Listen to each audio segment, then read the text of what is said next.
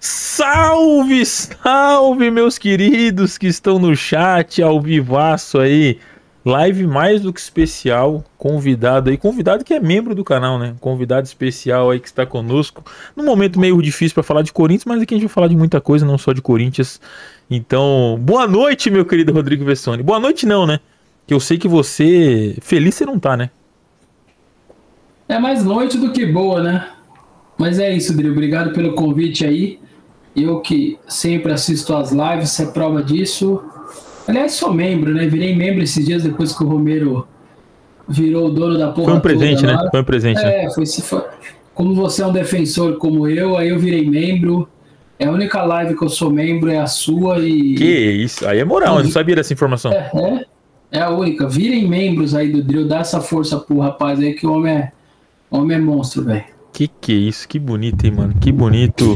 Enfim, estamos com o Rodrigo Vessone aqui, né? Já tinha uma galera aí falando, pô, é, esquece um pouco o Corinthians, eu não vou ver porque eu já tô deprimido, né, cara? Mas veja aí que vale o papo, né? Tem alguém que tem histórias para falar de Corinthians e de vida também, né? Um cara vivido, jogador quase profissional de futebol, né? Informações de bastidores aí, né? O cara jogava bola pra caramba, velho. Então, Nós tem... nunca comemoramos um título de live, hein, velho? Nem eu, nem você, ninguém, né? Porque veio depois da pandemia o lance, né, de lives e tal, lembra? Caraca, mano, talvez seja esse o problema, né? É, a gente nunca, nenhuma, nenhum canal que criou depois da. Porque a pandemia fez a gente reinventar. E acho que nenhum, ca... nenhum canal, né, fazia lives antes da pandemia ali, acho. Talvez só o Diegão lá no Ultimão, né? O é, Diegão e parou, né? Tá em Mas, outro canal é... agora. E eu falei esses dias, lá no meu timão a gente criou lá em 2020, se reinventou com o negócio da pandemia e tal, porque parou tudo. E, e a gente nunca comemorou o título, né? É, é algo que eu acho que para todos os canais, enfim, para todas lá faz falta. Ficou perto lá do jogo do Maracanã, foi um negócio inexplicável, fazer, né? Para fazer o pós-jogo ali, eu confesso que eu foi difícil. Foi a primeira final que perdi ali em live, né? Olhando assim tal. É, o outro dia ainda foi difícil pra caramba na porta do hotel. Mas o, o pós-jogo foi muito fogo, até meu olho ficar cheio de legal, porque meu filho me mandou mensagem, velho. Tava assistindo, se desesperou nos seis anos. E nos pênaltis aí me mandou mensagem: ah, papai, não deu nos pênaltis tal. Cara, quando eu escutei aquele, vi, aquele áudio lá no WhatsApp, aquilo me quebrou de uma maneira, eu tinha que entrar no ar. E foi fogo. Seis, seis anos, ah, papai, eu fiquei torcendo aqui. E aí minha esposa falou: ele ficou de pé em cima do sofá. Puta, aí você, puta, aí você vê os caras saindo ali na sua frente, mas seu filho tinha mandado a mensagem. Enfim, coisas que você tem que tentar acalmar ali na hora, mas. Aí é, até, até uma, que... uma, pergunta que eu tenho, vai ser porque, cara, depois de toda a derrota assim, muito triste do Corinthians, velho, eu sempre paro e penso, mano, seria mais fácil não trabalhar com isso, mano. Eu ia perguntar se em algum momento você acostuma, mano. Mas pelo jeito não, né? Você tá aí com 20 anos de, de casa e acaba um jogo, você ainda não consegue ser só o Vessone profissional, né? É, eu, eu tento ser. É, eu confesso que teve vez ou outra que eu perdi um pouco ali. Quando tomou 3 a 0 em Barueri, do Palmeiras, cara, aquele pós-jogo eu perdi a linha ali. Eu, e a minha internet caiu. Foi a sorte, acho que do canal, porque eu eu, a, a torcida do Palmeiras cantando olé, aquilo no estádio, quem tava no estádio, né, não tinha torcida única, nossa, aquilo foi entrando na minha mente, mano, aquilo foi me bagunçando, quando eu entrei na live eu já tava é, bravo demais, assim, e, e é o que eu falo, assim, a gente sabe que o futebol é profissional, que os caras são profissionais, eles trabalham por dinheiro, que é justo, enfim, eles tratam aquilo como profissionalismo, só que eu separo, velho. Eu, quando vou pro estádio, como torcedor de folga tal, eu não vou por aqueles jogadores. Eu vou pelo Corinthians, cara. É o que eu faço desde a minha vida, desde os meus dois anos, quando eu, eu sou uma, eu, eu, ia de, eu ia de mascote em 1982 de mascote do Corinthians, cara. Então, é, eu separo muito as coisas assim. É, eu vou pelo Corinthians. Se você fala assim, André, ó, jogou todo mundo quarta-feira, perdeu. Olha, gente, é o seguinte: trocamos 30 jogadores, o presidente toda a comissão técnica. Sábado, lá em Bragança, tem 50 pessoas novas. Eu não tô nem aí, velho. Eu vou lá de novo pelo Corinthians e eu vou. A camisa do Corinthians vai estar em campo. Então, eu separo. Tem gente que fala, ah, o futebol virou muito profissional, os caras pensam em dinheiro, eu perdi minha paixão. Cara, eu separo mais mil por cento. Todos os caras vão passar, todos os dirigentes vão passar. tem aquela música famosa dos paraguaios, uruguaios no estádio, né? Passam jogadores, dirigentes e campeonatos e o sentimento não vai acabar. É, e eles falam espanhol, é bem linda essa música, mas é isso, cara. Se a gente tiver essa noção de que é o Corinthians que importa e que todos esses caras do Ilho, é, Andrés, Augusto, essa galera toda vai passar, os jogadores vão passar. Às vezes torcedor... demora, mas passa. É, e o torcedor vai ficar, cara, e o nosso sentimento vai ficar, e a gente só. Eu, pelo menos, eu sou dessa maneira, assim.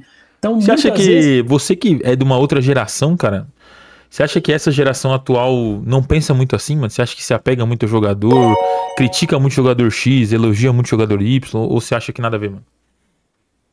É que mudou muito, né? Eu acho que as pessoas no passado poderiam pensar fazer isso. Só que você não recebia isso na sua rede social você não conseguia ter essa dimensão muito rápido. Eu foram 20 anos, foram 13 anos no lance.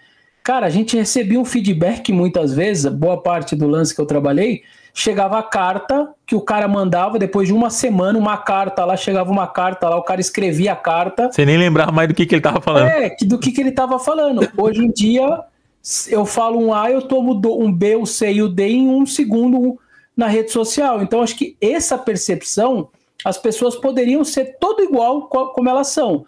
É, mas as coisas foram mudando. É igual no estádio. Ah, o estádio hoje mudou. As pessoas fazem selfie, filmam o gol. Meu amigo, a sociedade mudou. Não foi, o, não foi a pessoa, a arquibancada é a mesma, o cimento é a mesma. Só que as pessoas foram mudando, a gente mudou como relação. Às vezes você senta para jantar, é, não é o ideal, mas sei lá, sua esposa tá com o celular, o seu filho com outro e você com outro. Ah, isso é o legal? Não é, mas o mundo é tá desse nível. A minha esposa fazendo alguma coisa ali do trabalho, eu também, o meu filho vendo um iPad, não é o certo. O certo era todo mundo desligar, sentar na mesa, conversar. A gente até de vez em quando faz isso, né, para evitar é, que fique só o negócio celular. Mas as coisas foram mudando, cara. Hoje, eu, assim, eu tenho comigo, eu não vejo o celular durante o jogo, a não ser quando eu estou trabalhando. Então, o cara me vê lá na Oeste, eu tenho que fazer os vídeos, os gols, mando para a redação, eles sobem, faz recortes.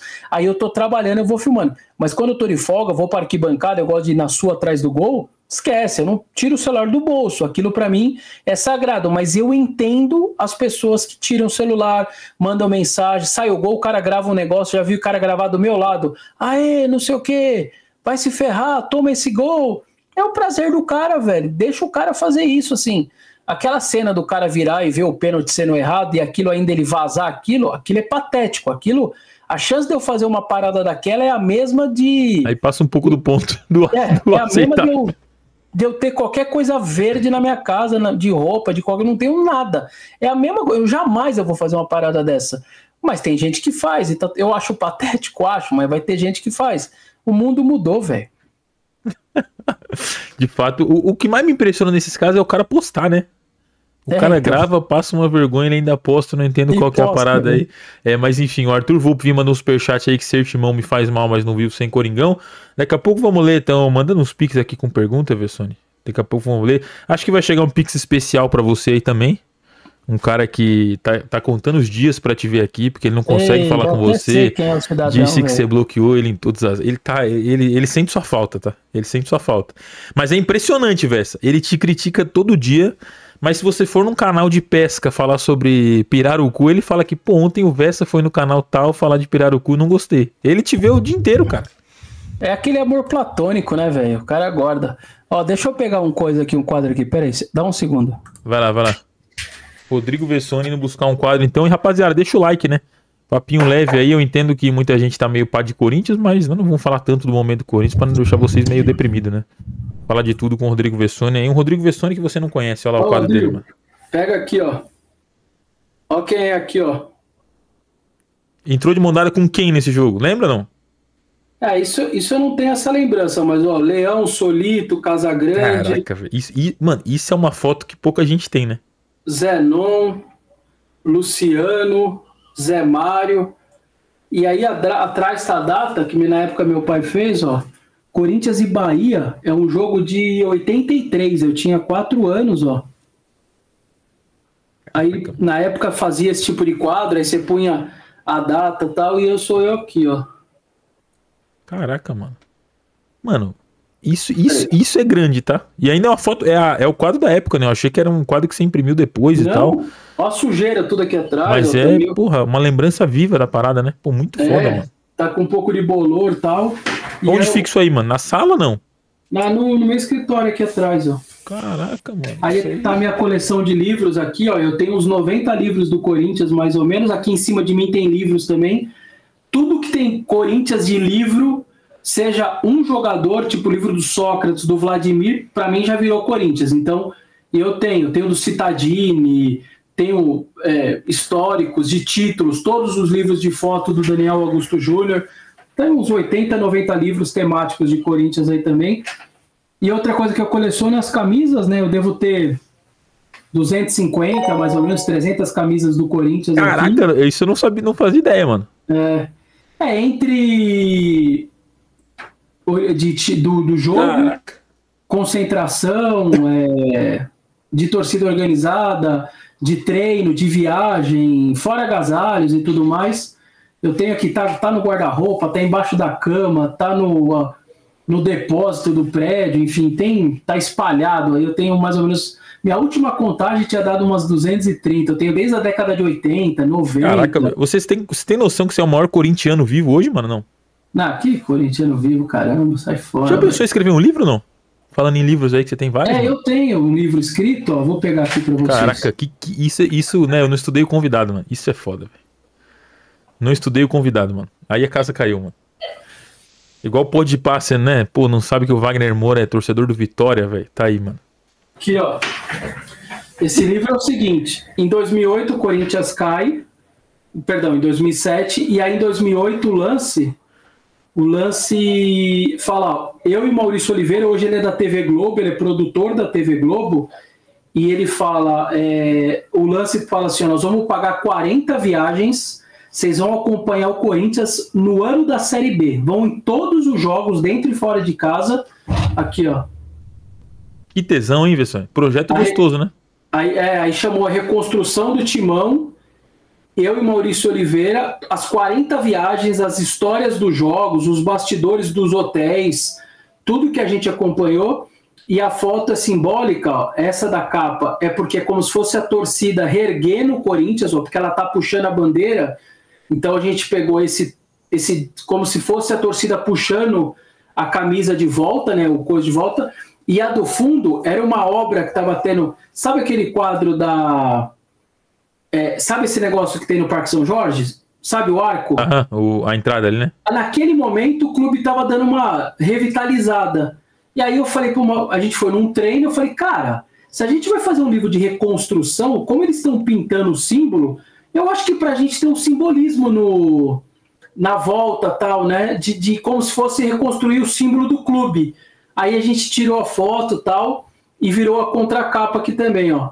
E aí a gente pegou depoimentos, ó, na época Luiz Inácio, Lula da Silva, Washington Oliveira, Serginho Grossman, Neto, e aí vários torcedores davam seu depoimento também no canto do livro, e tinha histórias de bastidores, histórias dos hotéis, histórias de cada viagem. Eu fui para Lagoas, eu fui para Salvador, eu fui. Puta, foram 40 viagens, eu e Maurício a gente ia se dividindo e aí fizemos o lançamento do livro lá no, no Paquembu, no Museu do Paquembu. Pô, vendeu só naquela noite lá mil e pouco. A gente ficou das seis da tarde à meia-noite e meia, cara. Meu braço ficou completamente roxo de assinar porque a fila não parava e foi muito legal. Hoje em dia não acha mais, não tem mais assim. Quem tem, tem. Sobraram acho que dois exemplares para mim, é o que eu tenho. Eu não tenho mais nada, meu pai deve ter um também, enfim. Eu não tenho muito, é só mais para guardar mesmo. Mas é mais um livro aí, um dos meus 80, 90 livros que eu tenho do Corinthians aí.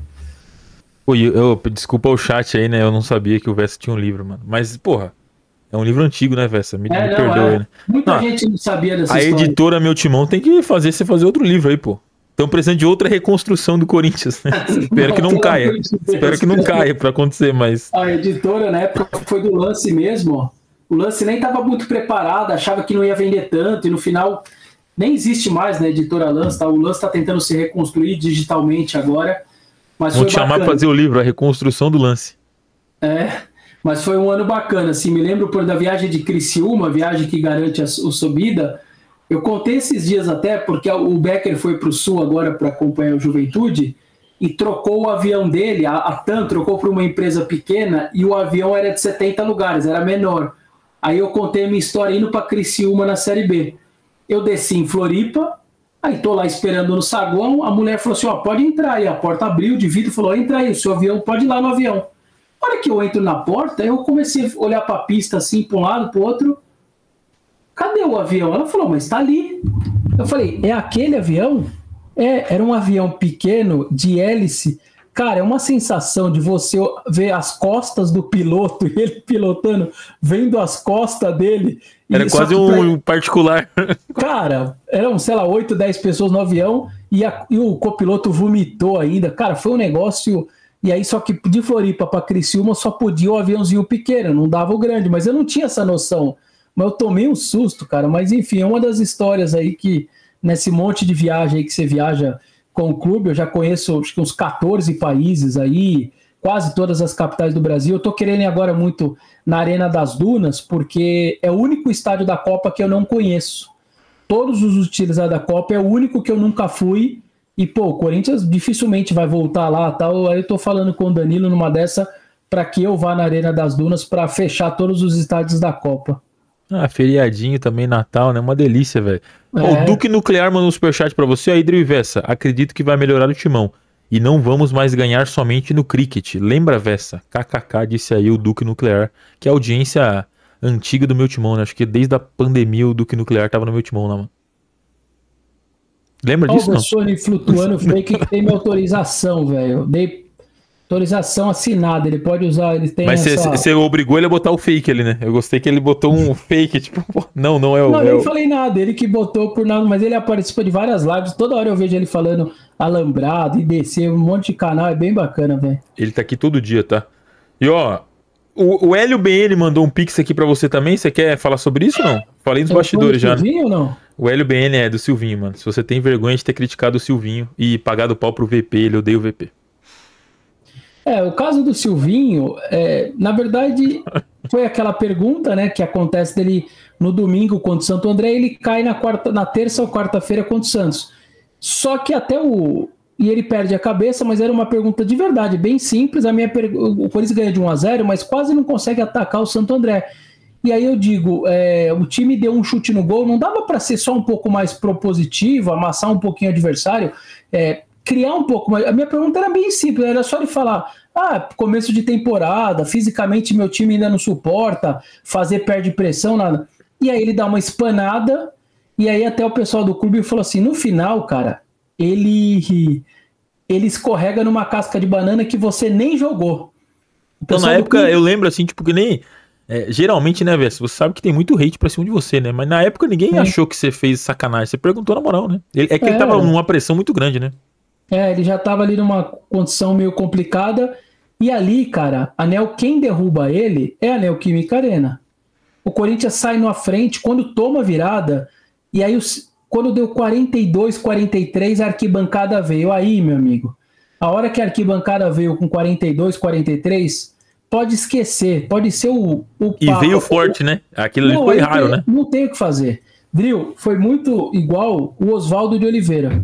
O Oswaldo, o Corinthians toma um 2. Não, Oswaldo não, Cristóvão Borges. O Corinthians toma um 2 a 0 do Palmeiras. Aos 43, a Norte puxa, fora tal, vem o estádio. O Roberto de Andrade, os caras me contaram. Hora que veio a arquibancada, ele levanta do camarote, aperta o elevador, desce e demite o cara no vestiário. E eu falei pro Duílio, porque o Duílio falou, é, não sei o que, o Silvinho. Eu falei na cara do Duílio, eu falei, Duílio, tá pra nascer, tá pra nascer o presidente, que quando 45 mil pessoas pedindo a saída do, do treinador, você não faria o que, o que você fez. Esse cara não nasceu ainda. É, mas eu, eu não sei. Eu falei, Duílio, tá pra nascer. Bateram fora do papo do ar, né?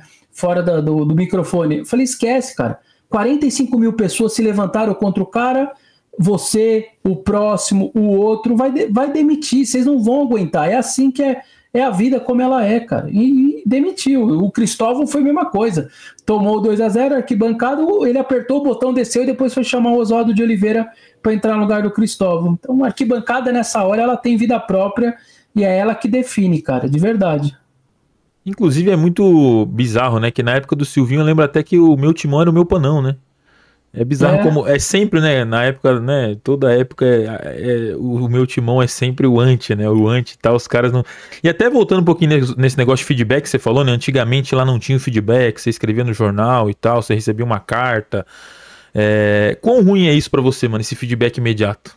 Você vê Sony ainda sente um pouco hate, sente, se incomoda, ou você é um cara. Eu, eu tenho o Vitão, né, que é uma, um, exemplo que a gente tem, que o Vitão ele tem uma frieza que eu não tenho, assim. Tipo, o Vitão fala assim, ó. O Gabriel Marco Teves na história do Corinthians silencia o tweet e não volta mais pra internet por três dias. E ele fica tranquilo na casa dele. Você, Vessone, você sente ainda um pouquinho, mano? Você se incomoda não?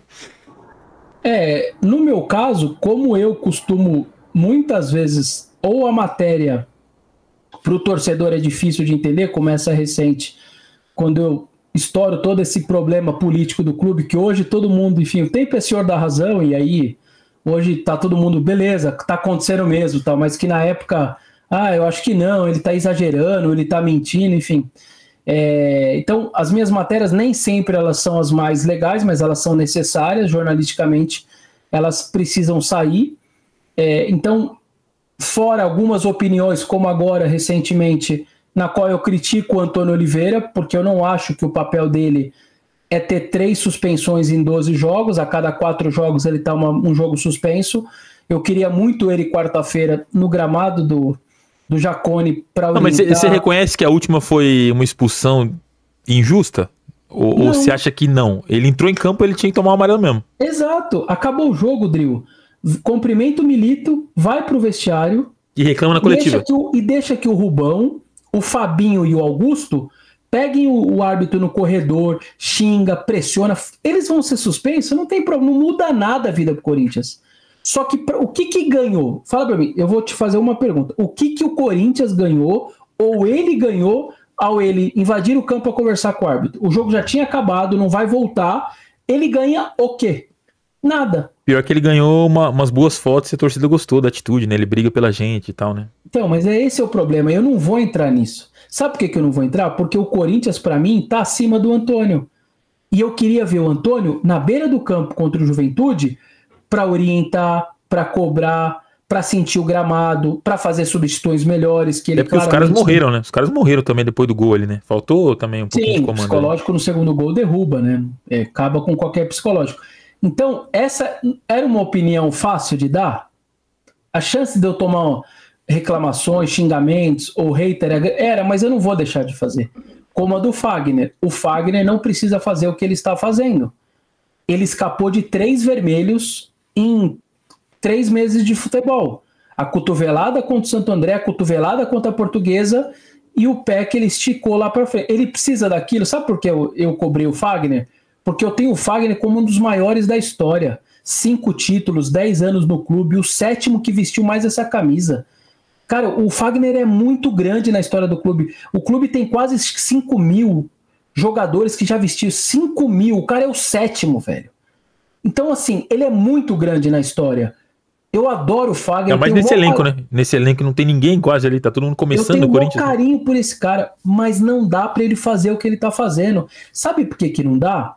Porque eu tô pensando no Corinthians. O Corinthians está acima do Fagner. E se ele for expulso e ficar com 10, você vai perder jogo, você vai tomar goleada se for um time bom, porque você não pode ficar com 10 no futebol tão competitivo. Então eu não tô nem aí pro Fagner, eu quero saber do Corinthians. E pro Corinthians eu quero ele em campo. Porque ele em campo, quando tá contra o Remo aos 49 do segundo tempo, sabe quem põe a cabeça no lugar do Roger Guedes? Quem tem qualidade, frieza, experiência? Aos 49 por uma bola na cabeça do Roger Guedes é o Fagner.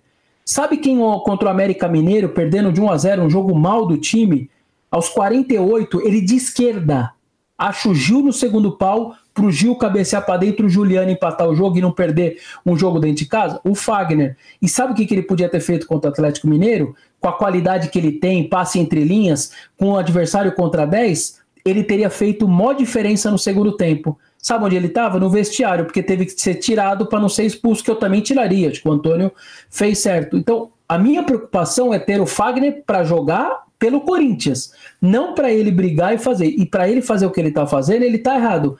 Muita gente também, ah, você está contra o jogador do Corinthians. Eu não estou contra, eu estou a favor do Corinthians, independentemente de ser qualquer jogador. Então, muitas vezes o camarada não entende isso, cara, não entende, não adianta. Mas eu tenho entendimento que é a paixão, se é a paixão, e tá tudo certo. Torcedor tem direito de, de cobrar o jornalista. Eu já fui torcedor só década de 80, 90, indo de busão para jogo, na década de 2000, nos dois históricos confrontos contra o Palmeiras, eu estava lá no Morumbi, nem sei como até hoje eu cheguei depois daquele segundo jogo em casa, que até hoje é, me faz mal lembrar daqueles pênaltis de 2000 e tudo mais.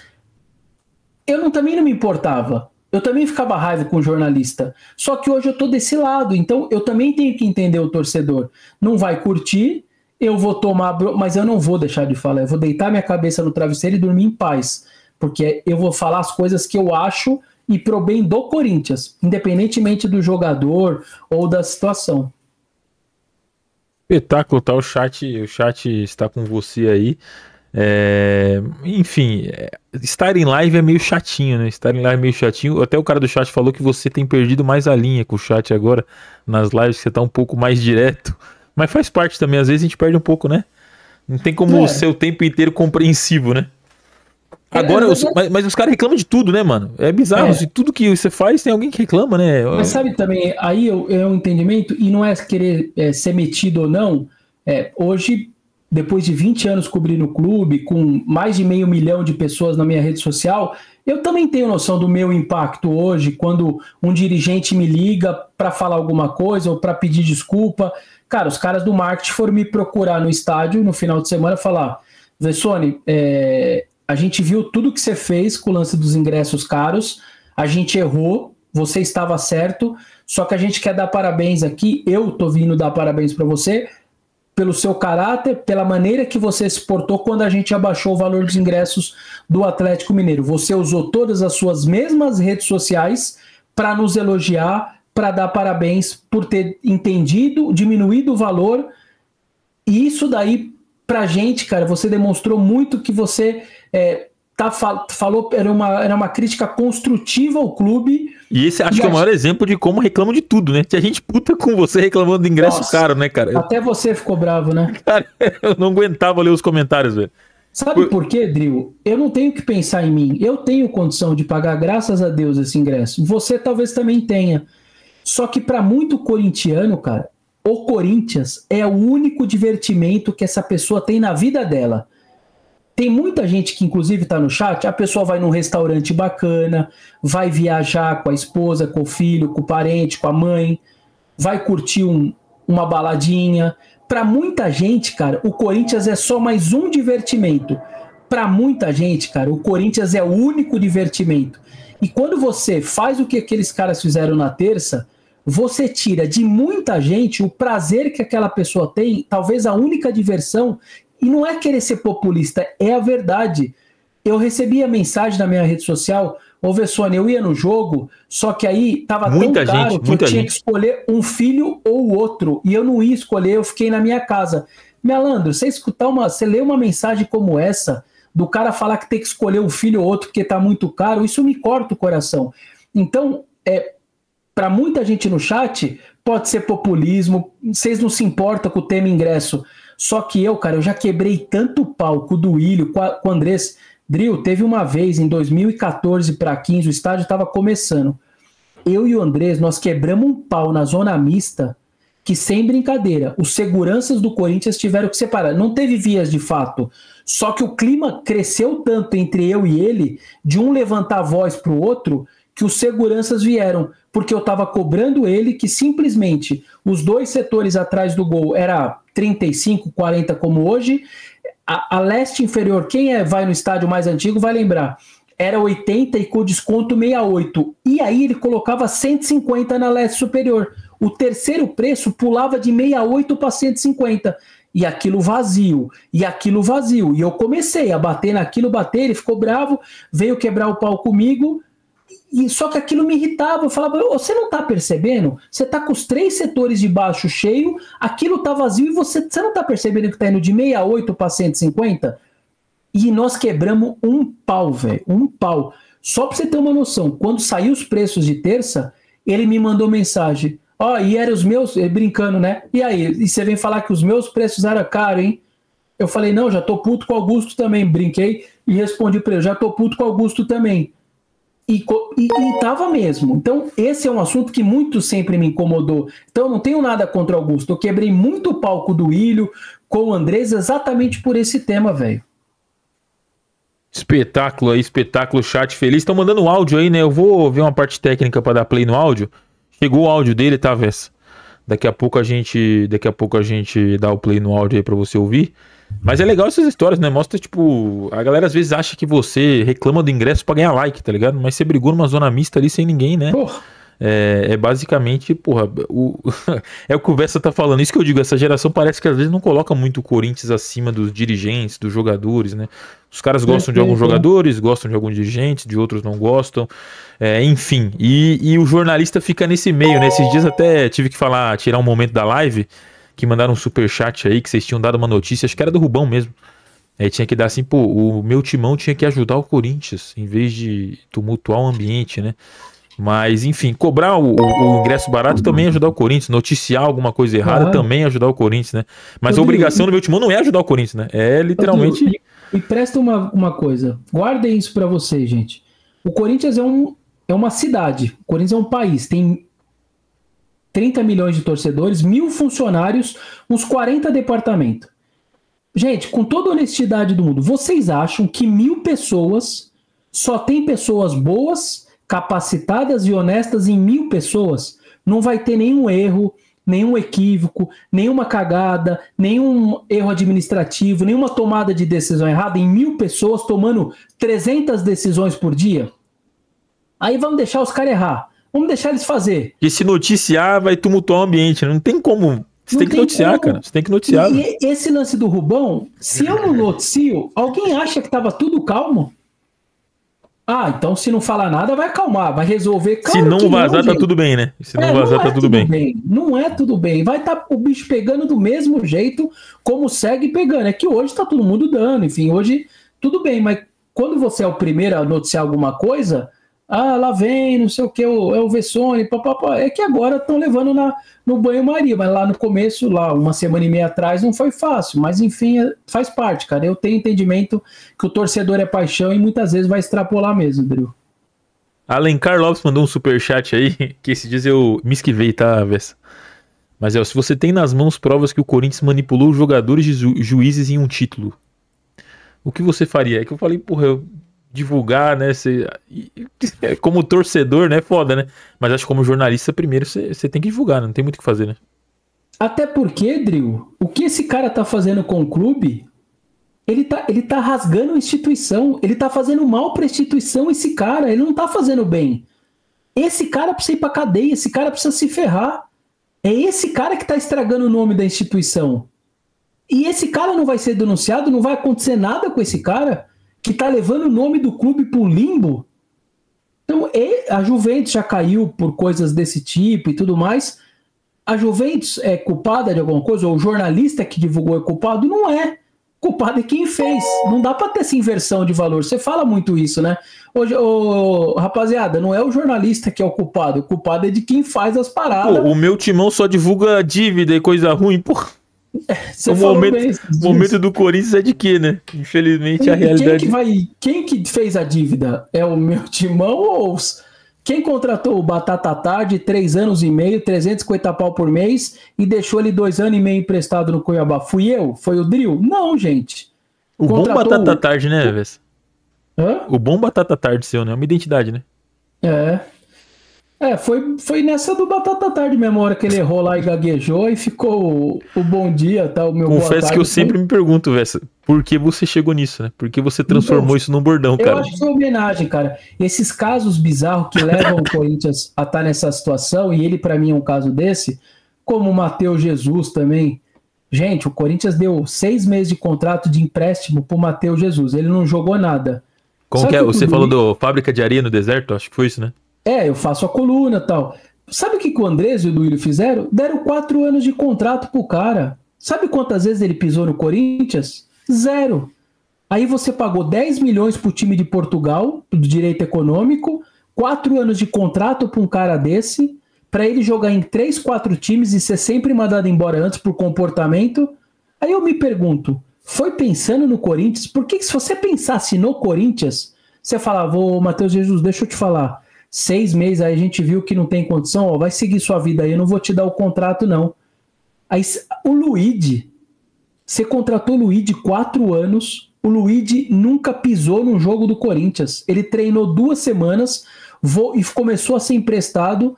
Aí eu fui levantar, deu quase 5 milhões entre salário, ele, ele processou o clube no final ainda, e aí veio lá o salário 70 mil primeiro ano, 80 segundos, 90 o terceiro e 100 mil quarto ano, mais 800 mil que tinha dado para o CRB e tal. Aí eu fiz o montante, deu uns 4 milhões e meio. 4 milhões e meio, o cara não pisou no clube. E eu não vou, não vou denunciar, não vou, não vou noticiar uma parada dessa, velho. 44 jogadores no Sub-23, cara, contratados em dois anos. O Corinthians chegou a ter a oito zagueiros no Sub-23. E como que você não vai noticiar? Eu quero o bem do Corinthians, cara. Eu tô fazendo isso pelo Corinthians. O, o torcedor tem que saber dessas coisas, cara. Ah, contratou o, o menino de sub, 26 anos para jogar no 23. É pau, meu amigo. É pau, não tem conversa. Isso não existe. A instituição está acima dessas coisas, cara. Não pode deixar. essa. O jornalismo está aí exatamente para isso, cara. Para denunciar um monte de bobagem que dirigente faz. Porque a gente tem que pensar no Corinthians. O meu timão nessa hora. Ah, Vessone, você noticia processo? Claro. O Corinthians tomou, pagou 33 milhões por uma venda do Jusilei. 33 milhões por uma venda. Não é que ele comprou e não pagou. Ele vendeu o Jusilei para a Ucrânia ao, e ele tomou 33 milhões. A juíza de Curitiba, ela mandava o ofício e falava assim: Globosat TV Globo, o próxima o próxima cota do Corinthians pode depositar em juízo. Isso destrói o seu clube, porque você não vai ter o dinheiro para pagar o salário, para contratar jogador. Eles tomavam direto da receita da TV Globo, nem pingava, ia direto para Curitiba o dinheiro.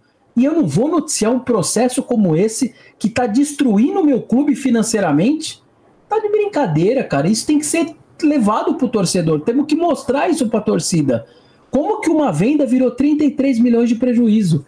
Então, só para contextualizar para quem não sabe, vendeu 11 milhões de euros o Jusilei para o time Anzi. lá da Ucrânia. Anzi? O, o Corinthians tinha 50% e o J. Malucelli tinha 50%. Beleza. O Corinthians comete com o Andrés dois erros.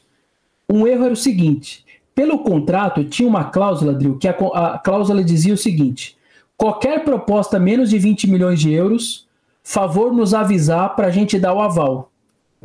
Um e meio precisava. Um e meio. Você pagou 33 milhões por causa de um e meio.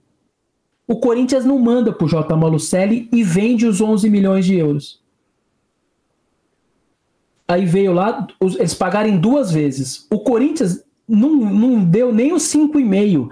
Deu tipo 5,200. Ficou devendo dentro dos 5,5. Ao não mandar e-mail, sabe o que a advogada do J. Malucelli fizeram? É o seguinte: eu quero a diferença dos 9 de euros. Do que eles não avisaram, né? Não avisaram que a proposta era menor. avisaram no e-mail e eu não te dei o aval para vender por 11. A juíza, a justiça do, do de Curitiba, o J. Malucelli é de lá, enfim, de alguma maneira deve ter impacto. Foi lá e falou: Corinthians, vocês têm que pagar a diferença. 33 milhões com juros, depois de anos naqueles juros todos. Oh, tomaram 33 milhões do meu clube por uma venda que era, poderia ser de 5,5 de euros positiva para mim, porque o presidente, o jurídico, não mandou um desgraçado do e-mail e eu não vou noticiar. Vocês estão de brincadeira, cara. Então é isso que eu falo. É chato? É notícia ruim? Não é legal? Não é, cara. Mas se essas pessoas pensassem no Corinthians, não teriam feito nada disso. E se fizer, a torcida tem que ficar sabendo, velho. E ó, a galera tá lembrando, não é Ucrânia, é Rússia, bem lembrado. O Anzi lá, né? Anzi Makache lá. Que é o Anzi, perdão, o... isso aí. E muito louco que gente do chat aí perguntando quem é Luigi e quem é Jusilei, né? Você vê como a Exato. galera é nova, né? Você vê como a galera é nova.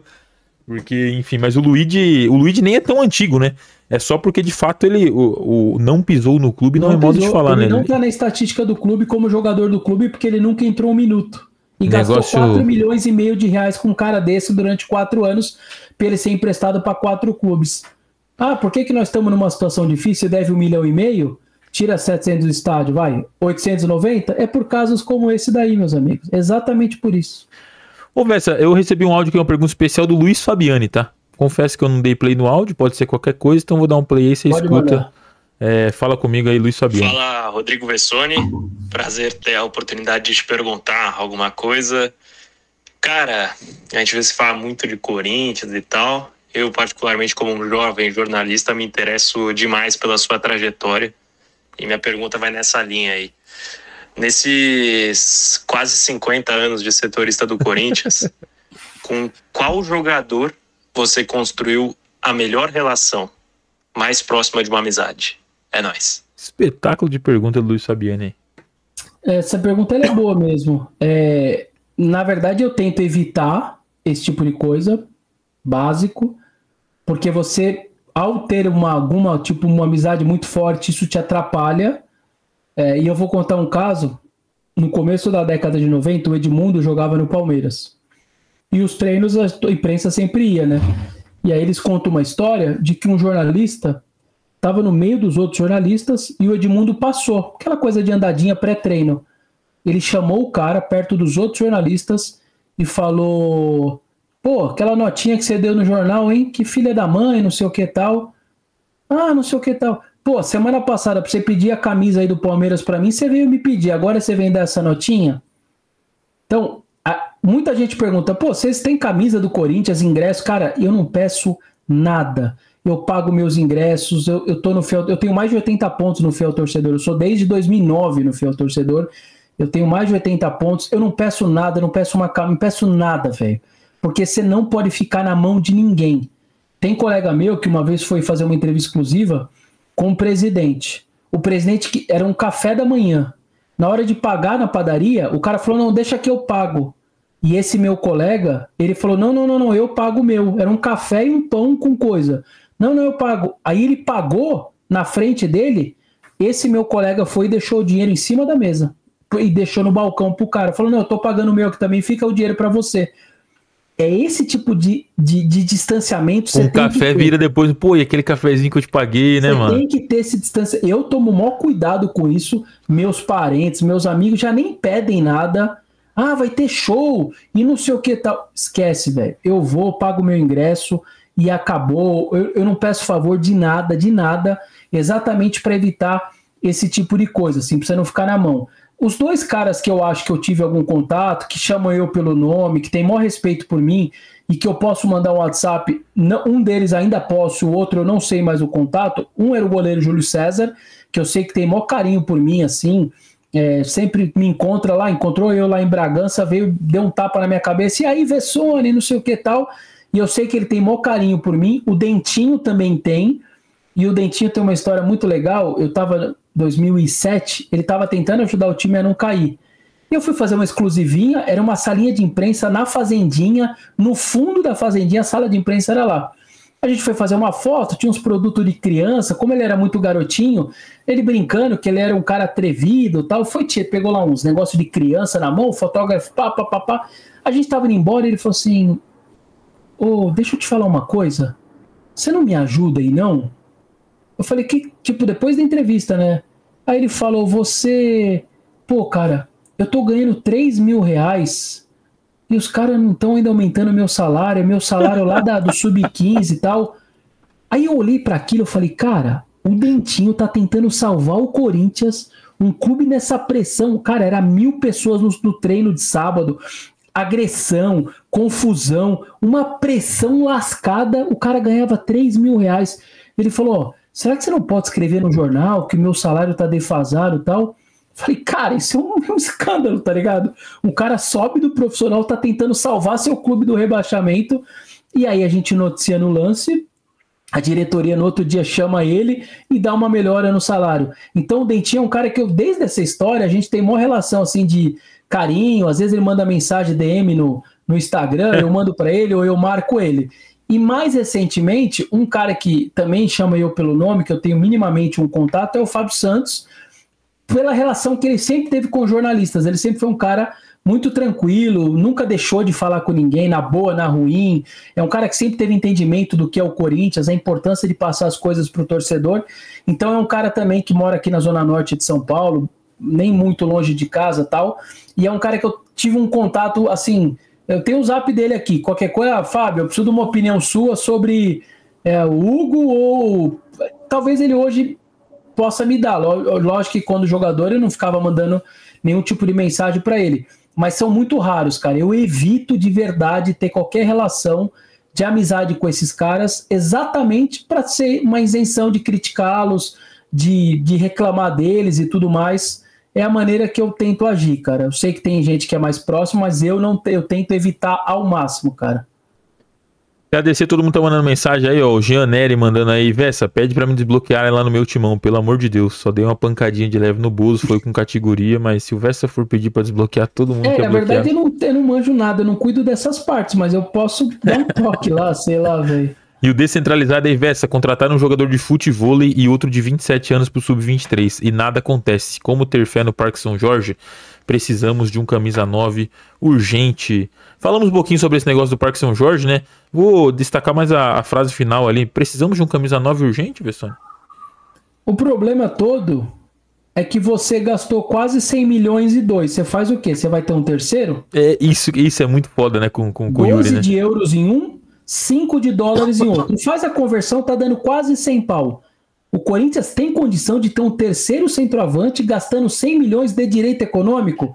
Fora luva, salário, comissão de empresário, gente. Mas chegou... o telefone toca da Premier League pro Yuri, você vende? É. O problema é esse, aí você vai ter só um. É, em tese daria para buscar outro, né?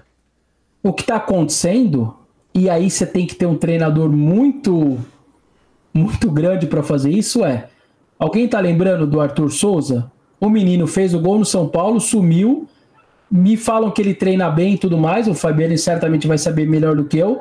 Só que quem é o treinador que vai chegar lá e vai tirar o de 12 de euros e o de 5 de dólares, vai pôr o menino para jogar e vai sacar um até do banco, da relação, porque não vai levar dois centroavantes pro banco. É duro, hein? É o, duro pra tomar uma decisão dessa. O treinador mal consegue tirar o Yuri, né? Pra botar um Romero da vida, é, né? Imagina é tirar, isso, os, né? tirar os três ali, né? Romero, Pedro Raul e tal, e botar o Arthur Souza lá é um pouquinho complicado. É complicado, cara. Chegou mais um áudio aqui do outro que é seu fã, tá? Outro que é seu fã e já Bora foi acusado lá. de ser seu filho. Só antes aí, o Bruno Birch. É, é uma questão meio chata, Vessa. Não sei se você quer falar também. Não, Mas enfim. Vessa, tu não acha um pouco exagero contar um tweet diário à ausência do Palácios como se fosse algum tipo de culpa do clube? Tipo, é uma lesão. Abraço e respeito.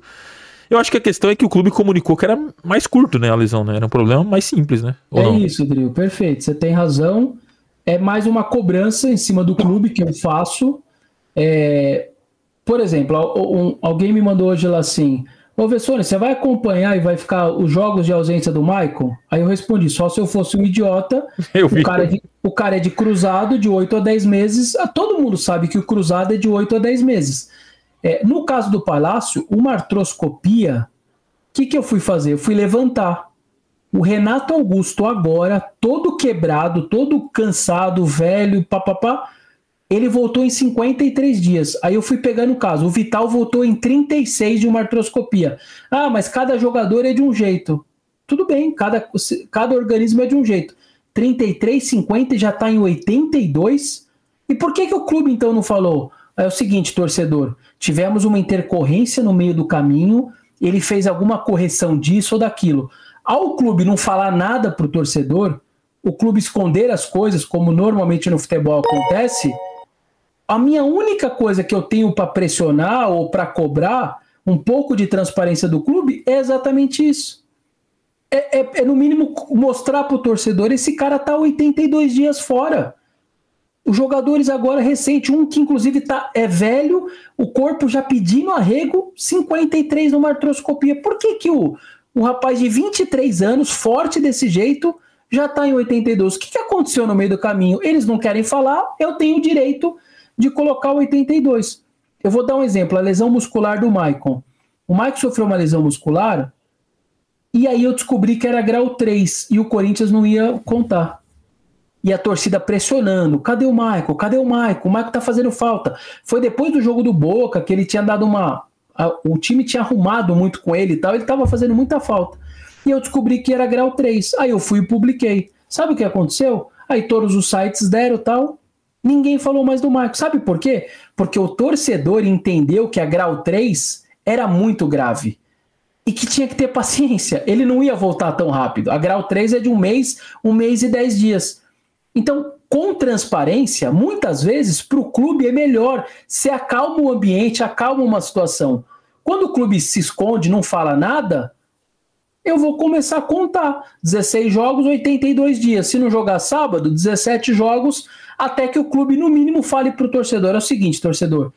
No, no, no, no, no dia 43, ele sofreu uma lesão muscular e teve que se curar no meio do problema e do alguma joelho. coisa aconteceu, né? É muito óbvio, não tem, não tem explicação para isso. Né? Gente, né? 82 dias uma artroscopia. Tem jogador que volta com 30 dias.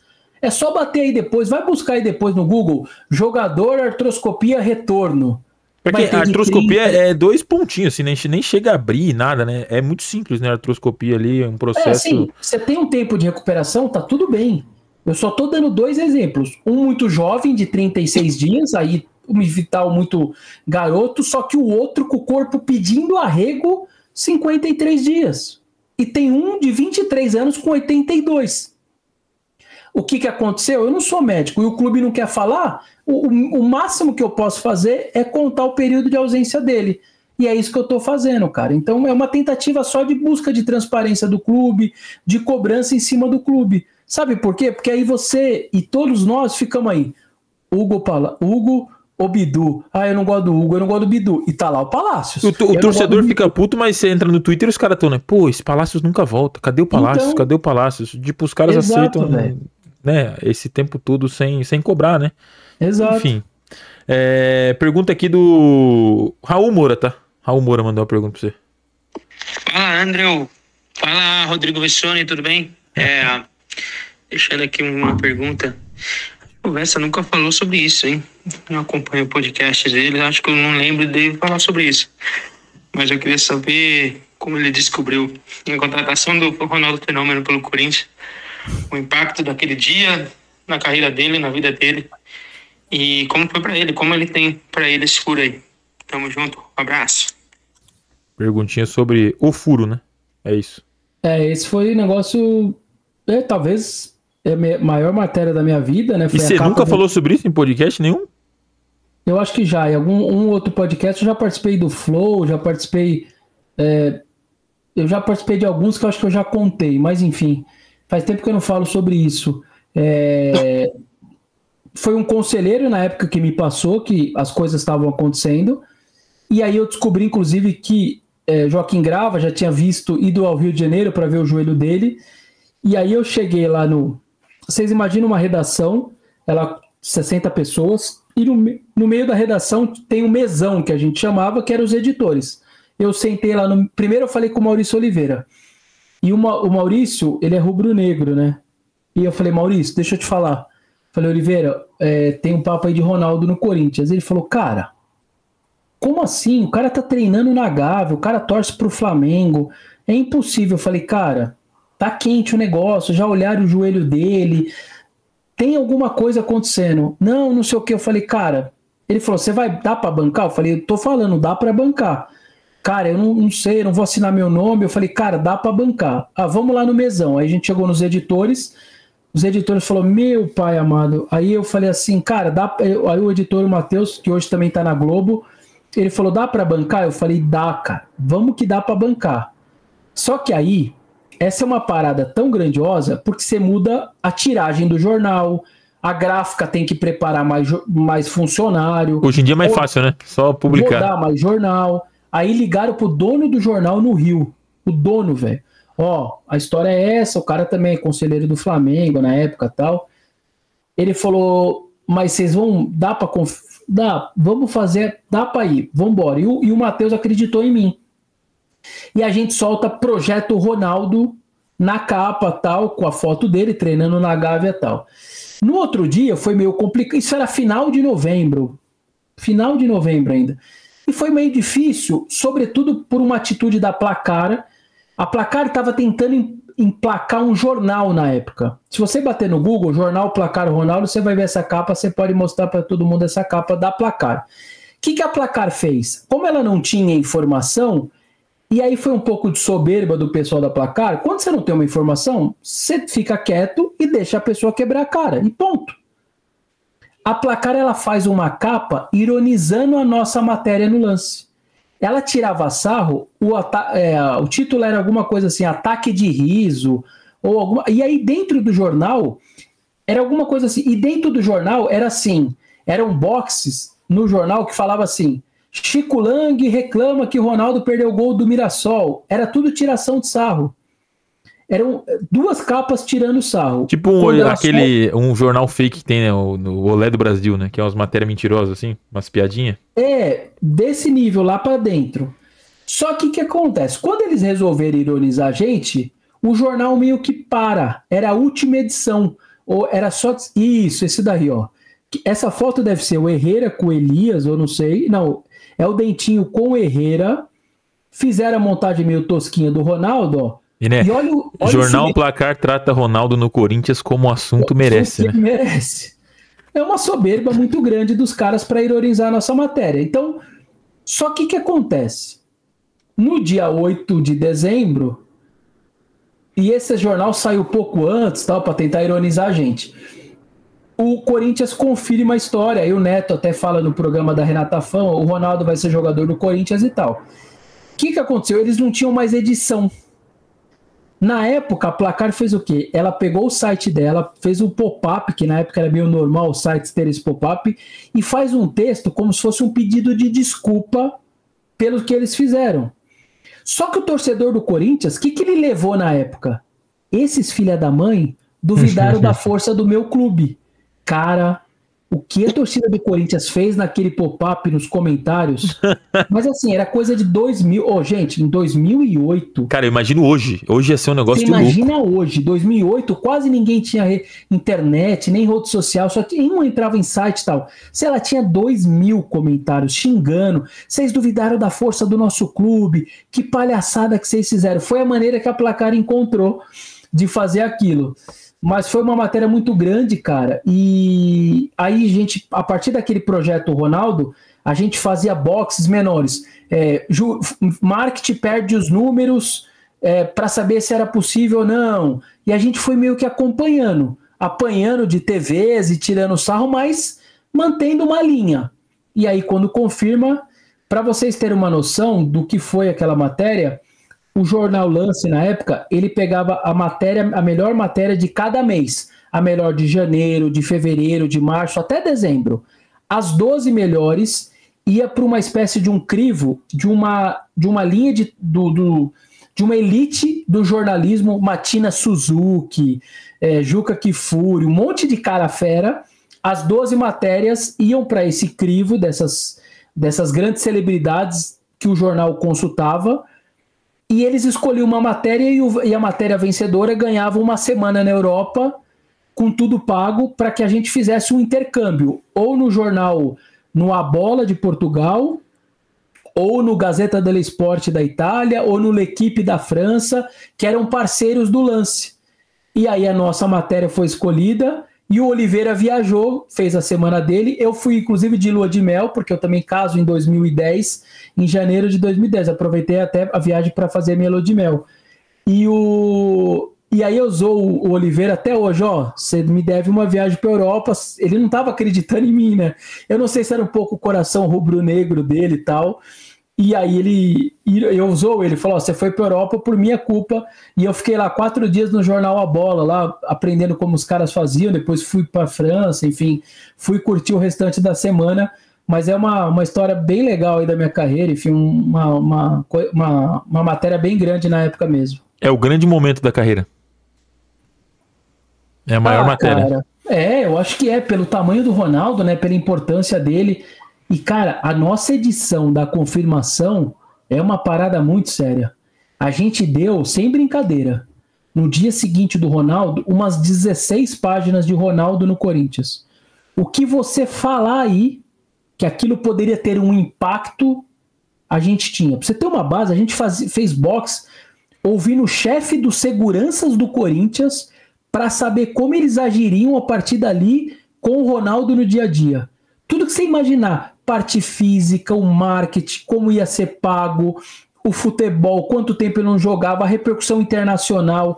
Obviamente, valorizamos a gente que tinha dado primeiro, fizemos todas as matérias em sequência. Veja a linha do tempo, o lance está em cima, estava em cima desde o começo. Cara, mas eram 16 páginas sobre um único assunto. O jornal tinha 24, 36, dependendo da, do dia, a importância. Você imagina 16 páginas de 24 de um único jogador, para você ter uma noção do tamanho que foi aquela contratação na época. E nunca mais vai ter igual, né? Nunca ah, mais vai, vai, acontecer nada parecido. Cara, só pra você ter uma base que era o Ronaldo, só pra você ter uma noção. O Corinthians às vezes treinava em dois períodos na Fazendinha. Treinava de manhã e tinha que treinar à tarde. Para os jogadores não ir para casa, eles almoçavam no restaurante que tem em cima do ginásio. Quem conhece o Parque São Jorge tem o ginásio, em cima tem o restaurante o Ronaldo, os jogadores saíam da fazendinha e iam a pé, sei lá, dá quanto? 500 metros, 700 metros tal. E o Ronaldo tinha que ir de carro. Ele não conseguia atravessar da fazendinha ao, ao ginásio dentro do Parque São Jorge porque ele não ia chegar. Aí tinha que ir de carro, fechavam o restaurante porque senão os caras também não conseguiam almoçar. Era um negócio, o Ronaldo era um negócio. Cara, ele parou o aeroporto de Medellín o Ronaldo atrasou o aeroporto de Medellín os voos. Quando ele foi jogar lá em Bogotá contra o, o Medellín, mas o jogo foi em Bogotá. Cara, quando chegou lá, aquele trânsito, a, a loucura que foi no aeroporto, a, o exército teve que ir lá com ele, Roberto Carlos, fazer quando o Corinthians chegou e quando o Corinthians foi embora. Cara, era uma loucura, era um negócio, é, é outro mundo, é outro patamar, não vai ter nada igual, cara. Sinceramente, acho muito difícil, velho. Agradecer o Jean aí, vou aproveitar o espaço aqui. Temos que defender o individômetro no site do clube, além de transparência, número de acesso é inimaginável. Tamo junto. Tem os áudios da rapaziada pra, pra dar play aqui, mas eu confesso que eu ia dar play igual dei play no do Luiz e do, do Raul e deu errado aqui, deu um erro no áudio, não sei o que aconteceu. Não sei como eu vou fazer para você ouvir esse áudio agora, Vessane. Tem que pensar na parte técnica aqui, mas é um áudio do G Podcast. Mas enquanto eu penso aqui, Vessa, é, eu, eu queria ter. A gente. É, eu, eu vim aqui pro programa pensando assim, pô, a gente vai falar além de Corinthians, né? Mas não tem como não falar de Corinthians com você, né, Vessa? Então, já estamos uma hora aí também, não vou tomar muito tempo do Vessa. Não, Enfim. de boa. eu consegui ó. aqui, ó, também, ó. Você pedi conseguiu? Pra um, pedi pra um seguidor meu comprar. tá aqui, aí, ó. porra. Tá louco, ó o homem aí, ó. Simplesmente o maior fã vivo do Romero, tá? na arena ele vira o Messi. É, é, não, porra. mas tem três áudios, três áudios do torcedor aqui pro, pro Vessa escutar. Pode mandar aí. Você tá com o celular aí, Vessa? Tô. Então bota na live aí que eu dou play e você escuta, pode ser? Estrutura tá improvisada aí, porque não sei o que aconteceu, mas deu um erro. Eu só tô com medo de dar play nesse áudio do G Podcast aqui. Queria ouvir antes, mas enfim. Vamos viver o momento, né? Vamos viver o momento. Aí qualquer coisa a gente. Você já tá bloqueado nos lugares, você bloqueia ele aí também, velho. O, o, pior é que nessa plataforma eu não consigo bloquear, ele só aparece ali e manda, mas enfim. Vou, vou, dar o play aqui, mano. Vou dar o play aqui. Já é podcast. Já tá aí a live? Você mandou por aqui ou você mandou aqui no celular? Não, não, tô falando, abre a live do YouTube aí, que aí eu vou dar um play na live e você escuta aí pelo celular. Vai ser um ah, improviso tá, do caramba. Tá, tá. É que eu achei que você ia mandar no zap. Não, não. Vou dar um play aqui e você escuta aí, pode ser? Vai lá. Fala comigo aí, já podcast. Salve Deus, salve chat. Bom, primeiro eu quero dizer que sou um grande fã do trabalho do Vessone. Vessone, dia 13 de março de 2024, às 5 horas da tarde, o meu timão lançou uma matéria falando que o Corinthians recebeu uma proposta de quase 300 milhões da Globo. Matéria feita pelo Vitor Scaroli, Vitor Godoy e Matheus Fiuza. E lá, a, a notícia primeiro era do Flávio Rico e a matéria diz, confirmado pelo meu timão. Horas depois, na sua live, você disse que não acreditava nos 300 milhões. A minha pergunta é: teve uma falha de comunicação entre você e o Vitão? Vocês não conversaram ou você não acreditava na notícia que o seu companheiro de trabalho deu? Obrigado. Então tá aí o áudio do Gé, ele fala isso todo dia aqui no canal, Vessante. Um abraço pro meu amigo podcast. Na verdade é o seguinte: existe a, a sua impressão e a matéria. Eu posso dar uma matéria que o Romero tem mais gols do que o Messi. É uma matéria. Mas a minha impressão é de que isso não estava acontecendo e que nunca vai acontecer. Mas por algum motivo, sabe essas coisas de vez em quando pinta aí, Drill? É, esse é melhor do que aquele, ou tá com uma. Está, esses dias apareceu o Navarro, né? Tava com mais gols do que o Messi. Né? Sabe essas coisas? Sim. Você vai acreditar naquilo, que aquilo é, é, é uma. Não, mas aquilo é uma estatística. Esse negócio, para mim, eu não acredito na possibilidade de 300 milhões, porque os outros clubes não estão pagando nem perto disso. E por que, que eles pagariam 300? Por mais que eles possam ter sinalizado com 300, por mais que a diretoria do Corinthians acha que seja possível 300, eu tenho o direito de achar que não é possível. Pô, só dar um. O, o, Vitão, ele já ouviu esses áudios, ele me mandou né, meio que um posicionamento. Ele falou que a matéria de que confirmou do Flávio Rico é muito mais o meu timão confirmando que havia aquela conversa com a Globo é. do que necessariamente os valores, né? Era ali que o Corinthians estava avançando em, em conversa com a Globo. O valor ali não está escrito, né? Pô, a proposta de 300 milhões. O meu timão confirmou o valor. O Vitão falou que é mais nesse sentido, assim, de que a conversa estava então, caminhando, né? É isso. É, no mínimo uma tentativa, uma conversa. As coisas no futebol, velho, muitas vezes elas, vo elas voltam mesmo, elas recuam e você pensava numa coisa. Por exemplo, a Brax não ia fechar a Série B lá e, e recuou e largou os clubes lá tudo na mão. Tava tudo certo, praticamente assinado tal e ela deu para trás. Tem o caso famoso do Gilberto, que eu conto nas minhas lives. O empresário dele mandou o número do voo. O Gilberto, que hoje está no Juventude, até machucou, passou por esse monte de clube. 2011, ele voando de Santo, do Santa Cruz. O jovem de tudo, voando, o Corinthians contratou ele. O empresário mandou: tô chegando no aeroporto, 8 da manhã, acordamos cedo, eu e o fotógrafo, tal, tal, tal. Fomos lá para o aeroporto. 8, 8 e 5, 8 e 10, chegou o voo, olhei confirmado o voo, pergunto, esse voo tá vindo lá de Recife, de Pernambuco? Tá, tá vindo, papa, e nada do que aparecer. Aí eu mandei pro empresário, oh, onde você tá? Vocês não chegaram? Você não tava nesse voo? Não, velho. Aqui por dentro mesmo, a gente tá fechando com o Inter. Eu não, eu não vou descer em São Paulo, eu tô indo para Porto Alegre e por dentro mesmo a gente já tá comprando passagem e estamos indo já para Porto Alegre. Eu fechei com o Inter. Cara, eu cheguei lá para pegar o cara com o número do voo, velho. E o cara por dentro foi embora e largou o Corinthians para ir pro Inter por causa de 50 conto a mais, 100 conto a mais, sei lá quanto que era na época. Você vai falar, eu tava mentindo? Ele não era jogador do Corinthians? Você quer que você faz o quê? Tem hora que as coisas não controla. Vou te contar uma aqui. O Júlio César, no momento lá 2012, quando ele não estava tão bem no Corinthians, ele fechou com o Vasco para ir. Na época, é que muita gente é nova não vai lembrar. Essa história é mais antiga. Beleza, fechou, tudo bem. O Corinthians embarca para jogar em algum lugar e desliga os celulares todo mundo. Quando chega na coisa, o Edu Gaspar liga, tava tudo certo, o Júlio já estava comprando passagem para ir para o Rio de Janeiro. Aí o, o, Edu Gaspar liga o celular, tem uma mensagem do diretor de futebol, sei lá, do Vasco na época. Olha, tava tudo certo, mas é o seguinte, eu vi uma enquete aqui no Lancinete e a enquete está dando negativa e a gente não vai mais trazer, viu? Obrigado, mas não vai dar mais para trazer o Júnior porque a torcida não quer no Lancinete, tem a enquete aqui. E cancelou. O jornalista era mentiroso, o Júlio era mentiroso. Alguém era mentiroso. E hoje em dia rola muito isso, né? Também. Eu vou te falar que deve rolar, viu, Drill? Deve rolar, cara. É... Esse tipo de enquete e tal. As, enquete, as, enquetes do meu timão são de fato pauta, né? Dentro do clube e tal, né? É importante. Eles rodam lá muito, cara. WhatsApp lá, aquelas pesquisas de presidente, aquilo balizava muito os caras. Muito ali. Mandavam mensagem, ó, pô, deu, tamo bem, hein? Demo, tava, tá bem aí, a, a enquete com vocês aí tá alta. Os caras mandavam mesmo, assim, falando, ó, tá rodando aqui em todos os departamentos e tal. É incrível, mas os clubes se baseiam muito nisso. Então, nessas horas, cara, infelizmente, o jornalista ele vai sair como mentiroso mas é que as coisas no futebol, cara, elas realmente vão mudando muito, cara. Muito mesmo. E, assim. eu já falei isso em live também, né? É muito fácil também botar o jornalista como mentiroso, né? É tipo, você posta uma parada e o dirigente, o jogador fala que é mentira e ponto. Né? É, as nunca pessoas... pensei nisso, pronto. É, as pessoas. Eu lembro até do Balbuena, né? Que o meu timão falou que o Balbuena ia sair, acho algo assim. Eu, já, eu tinha acabado de entrar no meu timão, acho.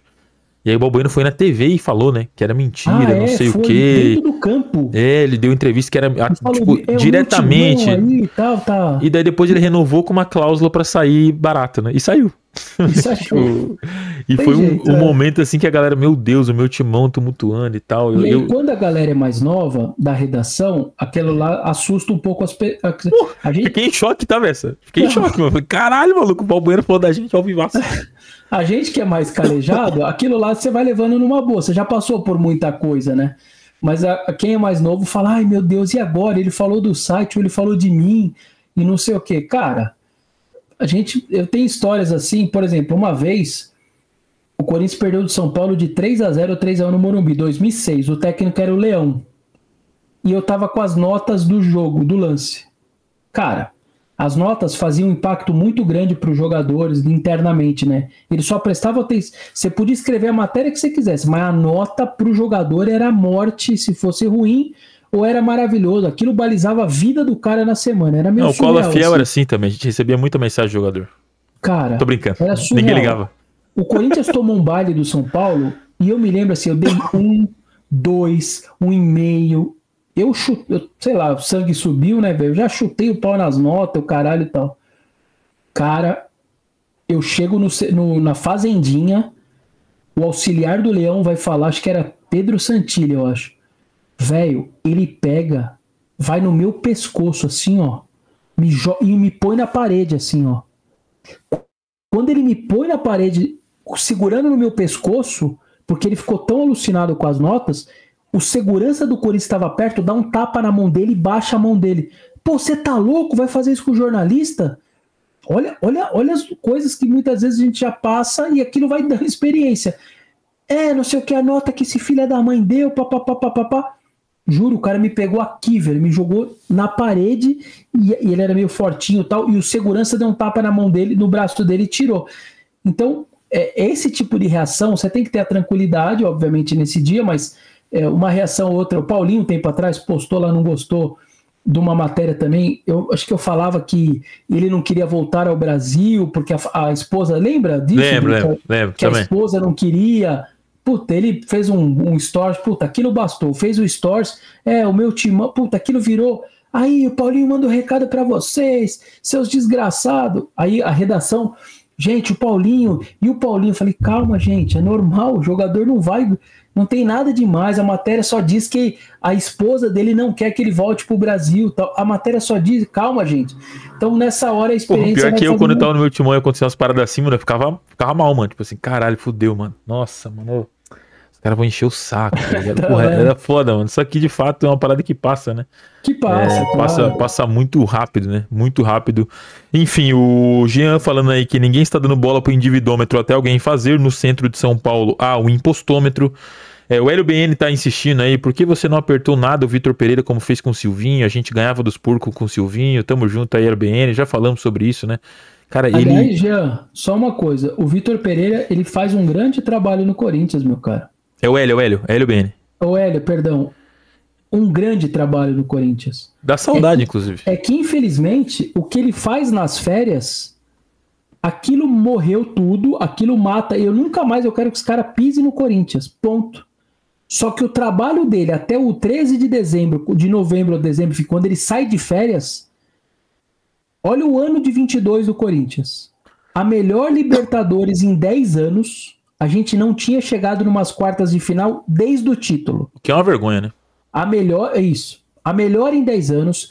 A melhor Copa do Brasil em 5 anos, porque não chegava na final desde 18. E no brasileiro, com todas aquelas dificuldades, com essas duas campanhas Rodando o time pra cacete, Copas, né? São 38 rodadas, Drill. 34, primeiro, segundo, terceiro, quatro, ou quarto, e quatro rodadas em quinto. A nossa pior colocação naquele brasileiro foi quinto lugar.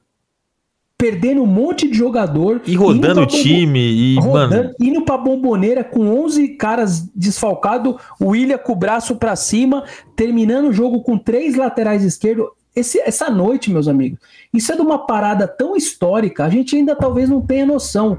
Ele terminou com três laterais esquerdos no jogo, cara. Três ruins, né? Não, é, ele terminou com o Fábio Santos, com aquele que veio do Goiás. O Bruno, Bruno Melo. O Bruno Melo. E, e o Piton, de ponta lá. Uma linha de cinco, que é aquela linha que fecha, que os italianos fazem, a, a, a famosa linha de cinco atrás. Nós classificamos contra o Boca na bomboneira, que os caras não perdiam desde a época do Santos para um brasileiro. É, e chegamos numa. E, o mais para mim impactante de verdade é o brasileiro. Nós estamos aí agora, tudo nas últimas posições. O ano passado lutando para não cair. E dando a vida, né? Titular e o cara, e o cara rodando o time ficou em quinto. Rodando o time 34 rodadas em quarto e 4 rodadas em quinto. Cara, se isso não é um bom trabalho durante um ano com dificuldade, com o elenco já envelhecendo, cara, então, assim, o que ele fez depois, que ele nunca mais pise no clube. Mas eu vou falar que o trabalho dele é ruim, mas nem a pau, velho. Ó, o Jean Nery tá insistindo no, no dividômetro do site aí, ó. O que, que é isso de dividômetro? Ele quer que seja tipo o impostômetro que tem no centro de São Paulo, tem que ter no, no site do Corinthians para ver a dívida do Corinthians. E ele falou: ó, concordam que a nossa dívida, na atual sociedade, a dívida do Corinthians é um dos principais pautas. A resposta explica o sucesso da minha ideia. Ele acha que daria milhões de acessos, todo mundo entrando para ver a dívida do Corinthians. Então, Jean, mas sabe por que, que eu acho que é difícil? a, a do impostômetro, toda notinha fiscal que roda, é, então. Alguma isso aí atualizar uma lá. vez por ano nesse dividômetro a aí, né? Corinthians, por exemplo, você perdeu um processo, só que você tem a outra instância. Aí você faz o quê? Você põe lá ou não põe? É, tem tanta coisa que o clube acontece no dia a dia que não dá para ser, né? Gera a nota e entra lá, não dá para ser assim. Ó, oh, áudio aqui do Papo com Papi. Faltam dois áudios e uma mensagem aí. E o Vessa aí, né? Vai dormir que já tá tarde, né, Vessa? Mas tá aí, ó. Vamos ouvir o áudio do Papo com Papi aqui. Fala, Vessa, tudo bem? É, meu nome é João, é, tem uma página no Instagram chama Papo com Papo, se conseguir dar essa força e seguir lá, vou agradecer. E a minha pergunta é, como que você se sente? É, em muitas vezes uma parte da torcida acreditar mais num dirigente que tá ali muito por política, às vezes a gente nem sente que é muito pelo Corinthians ali, acredita mais nesse dirigente do que em jornalistas que apuram, tem todo um trabalho de apuração por trás é, e que publica as coisas não para prejudicar, mas sim para o bem do time. Como que vocês, jornalistas, acabam sentindo isso? Valeu. Falando bastante sobre isso aí durante a live, é. né?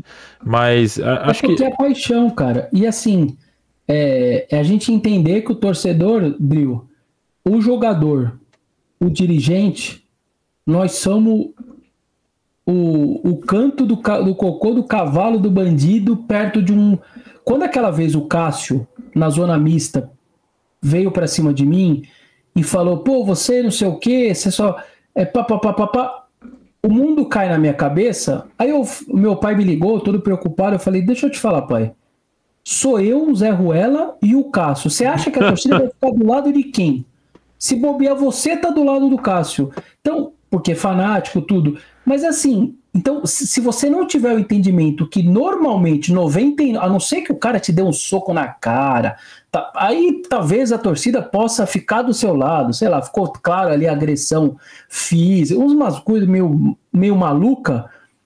É você que é um Zé Ruela contra um, um gigante como esse cara de 12 anos de clube. Você sempre vai estar tá errado. E o, o exemplo, acho que o Duílio, né, quando falou lá que você era o cara que só viu o copo quebrado, né? Também acharam incrível. Pô, o Duílio atropelou o Vessone e tal. Sim, Meses depois, é. o Duílio é o pior ser humano da história e o Vessone e, e nunca sabe... bateu no Duílio, né? Os caras falam. e sabe por que, que o Carlos estava bravo comigo? Por causa da matéria que eu dei que o, o CT do feminino e do masculino cortaram relação porque as meninas fizeram aquilo e aí simplesmente o aviso foi: nunca mais venham aqui, a gente não vai aí. Fo... Lembra das fotinhas que uhum. saía do dia do goleiro, o Sim. Cássio? Não tem mais nada disso, porque eles cortaram relação. Aí a gente trouxe isso à tona, por isso que ele fala: ah, vocês são do meu timão, vocês tinham que fazer as coisas pro. Que ele não tem um entendimento do nosso papel jornalístico, mas eu vou ficar discutindo, velho. Eu vou ficar brigando com ele. Né, eu sou, eu sou quem perto do Cássio? Era óbvio que o Cássio ia estar tá certo eu ia estar tá errado. Se a gente não tiver entendimento, nós vamos ficar louco, velho. Leandro Viana aí, ó. Salve Vessa, cobrindo Coringão em campo há tanto tempo. Você já passou algum perrengue com o torcedor rival? Como é a sua relação com o torcedor rival, Vessa? Você que agora, né? Você comenta jogos lá na, na, na Gult e tal. Você sente que tem uma rejeição pra você ser. Eu vejo que com o palmeirense você fala todo dia, né? Que você tá sempre dando uma alfinetada nos caras. É, eles e pega muita pilha, né? Porque a torcida do Palmeiras é contra a imprensa, ela sempre é muito forte. Mas tipo, o jogo sentido. no Allianz lá, você chega meio na surdina, assim, meio no cagaço ou de boa? Surdina? Se o jogo é às seis, eu chego meio-dia, filho. é, é a verdade, né? O fato é, é isso. Mas eu lembro que às vezes o, o, Vitão, mano, a gente tava no Morumbi assim, mano, e o Vitão filmando a torcida e tal. Aí eu olhava, você tava lá na frente da torcida, na recepção do ônibus, assim, mano, filmando e tal, tranquilão, velho. Mas do São Paulo, né? O cara é frio, né? É, então você só tem isso com a do Palmeiras. É, do Palmeiras, quando o jogo é às seis, eu chego meio-dia. E aí, normalmente não tá aberto pra imprensa, mas eu peço autorização, eu explico a situação pro segurança me deixa eu ficar pelo menos aí dentro, eu vou ficar esperando abrir lá o credenciamento. E é a maneira que eu encontro. Eu não vou ficar dando bandeira na, na palestra Itália, andando ali, não vou. Mas dia a dia, assim, já passou por algo na rua, mano? Algo assim, não? Já, uma vez no, no shopping Bourbon, eu tava lá com meu filho, meu filho tinha dois anos. Porra, é só que, não, olha, a história é bizarra, né? Eu tô lá com meu filho, a minha esposa tava na farmácia. E, e eu tô aqui com ele, dois aninhos. E aí eu escuto assim no fundo, né? Aí, Neto, seu filho da puta, ô Neto, seu cuzão. Eu falei, mano, quer ver que é comigo, velho?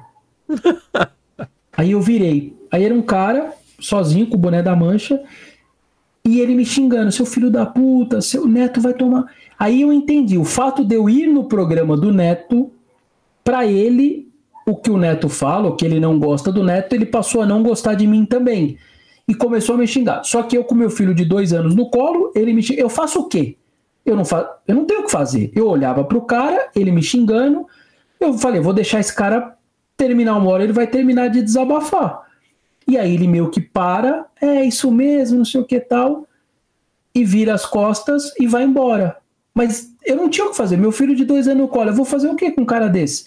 Mas a minha culpa para ele era eu ir no programa do Neto. Eu, eu não era nem contra mim. Só que eu paguei pelas coisas que o Neto falava e que ele não curtia tal. Essa foi, acho que, o dia mais complicado. Eu passei um perrengue também com corintianos, é, com o pessoal de organizada em 2009.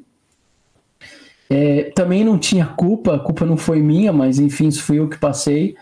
Que a história era mais ou menos assim: a gente deu uma matéria na pré-temporada de janeiro de 2009, é, dizendo que o preço do, de, do, do fiel torcedor, que estava começando, o fiel torcedor é de 2008 2009, era um pouquinho mais barato tal, e a matéria só dizia isso. E eu estava na pré-temporada em Itu e mandei a matéria. Quem pegou na redação, os editores daquele mesão que eu falei, tinha mais ou menos um combinado editorialmente assim no lance. Se arrumou briga, confusão, troca a torcida organizada no texto por facção organizada. Nossa. Se for. É, era uma linha editorial, tá? Do jornal, que é veio lá de cima tal. Se é caravana, ingresso, deixa a torcida organizada, beleza. Quem pegou no mesão era uma matéria de ingresso, não tinha nada a ver uma coisa com a outra. Foi e trocou por facção organizada. Cara, aí eu tomo um enquadro na porta da vila, por quê? Em 2009, o meu rosto não tinha rede social direito, a gente não aparecia, não tinha ninguém conhecia a gente. Quando eu tô atrás na, no setor visitante, é onde entra o ônibus do time. Quando eu tô passando, o Ricardo, que é hoje segurança até hoje do Corinthians, eu falo, ele fala assim, dá a mão para mim e fala: "E aí, Vessone, tudo bem?" Aí Quando fudeu. ele fala Vessone, tudo bem? O bolinho de caras que estavam ali, porque ali é o setor visitante, eu olho, os, eu, os caras fazem assim, ó, e olham pro lado. Eles não sabiam que era o meu rosto porque o jornal não tinha. Só que o meu nome, na cabeça deles, eles gravaram. E aí os caras vieram, sei lá, oito caras, dez caras, fizeram uma, uma roda em mim. Pô, que história é essa de facção? Aí eu, do que vocês estão falando? Não, você chamou a gente de facção. Eu falei, eu não chamei vocês de facção. Por quê? Não me vinha nada na cabeça, certo? E aquilo começou a me dar um, tipo, suando igual tampa de cuscuz, tá ligado? Porque você começa a ficar sem saída. Meu nome nem é Vestone, porra. e fica sem saída. Não, não sei o que, o jornal tá lá na minha casa, tem a sua fotinho, porque quando a gente viajava em pré-temporada ou viagem do time, era fotinho com nome, tinha uma fotinho, correspondente especial e a fotinho. Aí o cara falou: Meu, tava a sua foto, você chamou a gente de facção, não sei o que e tal. Aí me veio a matéria na cabeça, mas eu não fui eu que escrevi, foi o editor. Que eu depois eu cobrei ele pra caramba. Eu falei, meu, o que vocês fizeram? Eu tomei um enquadro, blá blá blá. Cara, e aí um cara me falou um negócio, Drill, que aquilo ali me impactou muito, tá ligado? E eu não sabia o que falar pro cara. Ele falou assim, meu irmão, deixa eu te falar uma coisa. Nunca me esqueço, cheio de tatuagem o cara. Tá? Ele falou assim, deixa eu te falar uma coisa. Eu tô sentindo aí sinceridade, você tá dizendo que não foi você que escreveu. Mas eu vou, ele falou assim para mim, eu nunca me esqueci disso. Ele falou assim, cara, eu só tenho duas coisas na minha vida. O Corinthians e a minha mãe que tem câncer e eu cuido dela. Se eu perder essas duas coisas, a minha vida acabou. Se eu perder a minha mãe ou o Corinthians, eu não sou cara de facção, eu não faço parte de facção. Eu não sei o que, que o jornal de vocês tem para escrever isso, mas eu sei que eu só venho aqui para ver o meu Corinthians embora para minha casa. Você não, não, você não tem o direito de me chamar de facção. E eu não tinha muito argumento pro cara, tá ligado? Porque ele tava certo, velho. Primeiro que não era violência, era um negócio de ingresso tal. E eu, e eu não sabia muito o que fazer. Aí um cara da, da TV Lance que estava começando e ninguém filmava nada, né? O Lance era muito acima, era muito adiantado, né? Do que é o mundo jornalístico hoje. Ele já fazia coisas que ninguém fazia. E o cara da TV Lance estava com uma, uma aquelas câmerazinhas de mão, pequenininha na época de 2009. E ele chega, ele percebe que o clima começou a ficar muito quente ali e tal. E aí ele vem filmando. Quando ele veio filmando, o bolinho se desfaz tal. E aí aquela coisa para mas foi um enquadro que eu tomei, eu também não tinha culpa nenhuma, mas acabei tomando enquadro ali de 8, 10 caras tal. É duro ali também, mas enfim, faz parte ali. O Gabriel Carteiro aqui mandou ver, Sony, sou seu fã. Sua matéria sobre o Rony é muito foda. Hashtag esperança. Bom, Até achei que você ia citar o Rony naqueles jogadores próximos ali. O Rony acho que deve ter uma gratidão. Ah, sim, também. Mas eu esqueci dele mesmo. Talvez é porque ele foi pro Atlético de Goiânia, mas foi exatamente. É, essa capa aí deve estar tá aí também na internet aí. É, o irmão dele, para quem não sabe, é o Tupan. Ele era um menino da base do Palmeiras e ele era da base do Corinthians. E foi diagnosticado com 15, 16 anos com uma arritmia é, coração e o Palmeiras pediu para ele parar de jogar. Só que ele, a paixão dele pelo futebol, e eu fui fazer a matéria na casa dele. E aí tá o Rony pequenininho, o irmão um pouquinho maior, o pai, a mãe, uma casa bem simples ali, acho que é em Suzana, não me lembro bem. E a capa do jornal é ele lá, e, e a, o título do, do jornal é Esperança. Ficou Esperança porque ele, o pai, o Rony pequenininho, eles tinham esperança do irmão voltar a jogar. Só que a paixão do irmão era tão forte pelo futebol que ele saiu do jogo do futebol profissional, mas não aguentou e foi jogar ali no campinho de casa. Aí, ó, tá aí, ó. Ó, o Rony é o pequenininho. É esse que o Drill tá mostrando. Ó, esse é o Rony. E esse é o irmão dele que deu o diagnóstico. E, e esse acho que é o outro irmão ali, o pai. E o, e o irmão do Rony, infelizmente, foi jogar no campo. A arritmia deu ali e ele acaba falecendo no hospital. E aí, antes de falecer, porque ele ficou internado algumas horas, sei lá, ele chega a falar pro irmão, cuida do pai e da mãe, dá o cuida do dá tudo que eles precisam, é, vira profissional e cuida do pai e da mãe e tal, e ele acabou falecendo. Então todas as publicações do Rony é hashtag esperança por causa da minha matéria. Então, de alguma maneira, a minha vida, a minha carreira, eu e o Rony estaremos sempre ligados aí por essa coisa do irmão. Ele tem o jornal na casa dele até hoje, ele guarda o jornal, o pai dele nunca esqueceu da matéria. Uma das poucas lembranças que tem do filho como jogador de futebol, na época não tinha muita foto, não tinha nada. E aí o Rony hoje joga tudo que ele faz, a vida ele bota dele, em todas as publicações, dedica, né? E as publicações ele põe hashtag esperança para dizer, irmão, eu tô aqui, tô fazendo aqui, virei um profissional, tô cuidando do pai, tô cuidando da mãe e eu virei o que você pedi, o que você é, virava. E na época no lance, eu era jovem, né, 2005, 2006, e você ajudava em tudo. Eu fazia Corinthians, ah, Vessônia, mas tem São Caetano, vai lá no jogo de São Caetano. Aí você ajudava, e aí esse dia falou: vai lá, tem um garoto do Palmeiras diagnosticado, vai fazer essa matéria, ele tá tentando voltar, mas vai lá. E eu fui fotógrafo E essa matéria, então, acho que eu e o Rony, a gente tem aí alguma ligação eterna aí por causa do irmão dele. Muito foda. Agora vamos ouvir o Pedro aqui. O último áudio, velho. Você prometa aí a saideirinha, uma hora e meia de papo já. Porra, dos melhores Boa. lives do canal aqui. Vamos ouvir o Pedro para fechar a participação. Fala comigo, Pedro. Deixa eu dar o play aqui no áudio. Salve, Drill. Boa noite, Vessa. Vessa, eu te acompanho bastante no, no Band Sports. E, e, obviamente, te comparo muito com a Marília Ruiz. Eu te pergunto porque, às vezes. É com duas, é. Você duplicou, não vai dentro duplicou, dos caras. Duplicou, duplicou, duplicou, duplicou. Pera aí. Vou dar um play no Pedro de novo aqui, e, enfim. E é uma cobrança, tá, Vessa? É uma, é uma cobrança, tá? De Se boa. prepara, mano. Fala aí, Pedro. Salve, Drill. Boa noite, Vessa. Vessa, eu te acompanho bastante no, no Band Sports. E, e, obviamente, te comparo muito com a Marília Ruiz. Eu te pergunto porque às vezes você não vai dentro dos caras. Eles menosprezam muito o, o Corinthians e a Marília Ruiz dava muito no meio deles. Talvez seja um perfil dela e o seu perfil não seja muito do embate. Mas você acha que não falta também as mídias corintianas e dentro dessa turma aí não? Um abraço.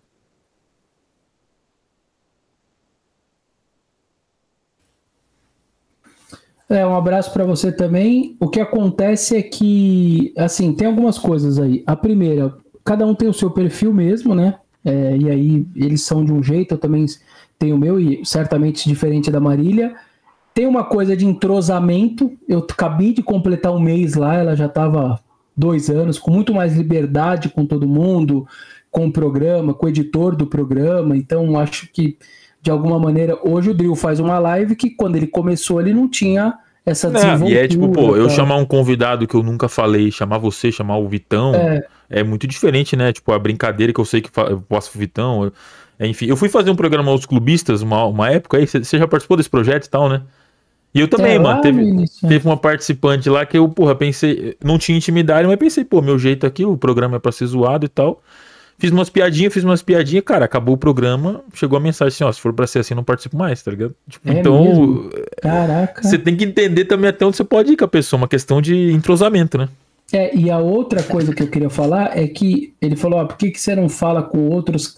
Eu, de verdade, eu não comento nada, nenhum post de nenhum jornalista, eu não critico, assim, puta, pode ter passado um ou outro, mas assim, é muito pouco, porque simplesmente, cara, o cara escreve ou fala ou, ou tá na TV e é a opinião dele, cara.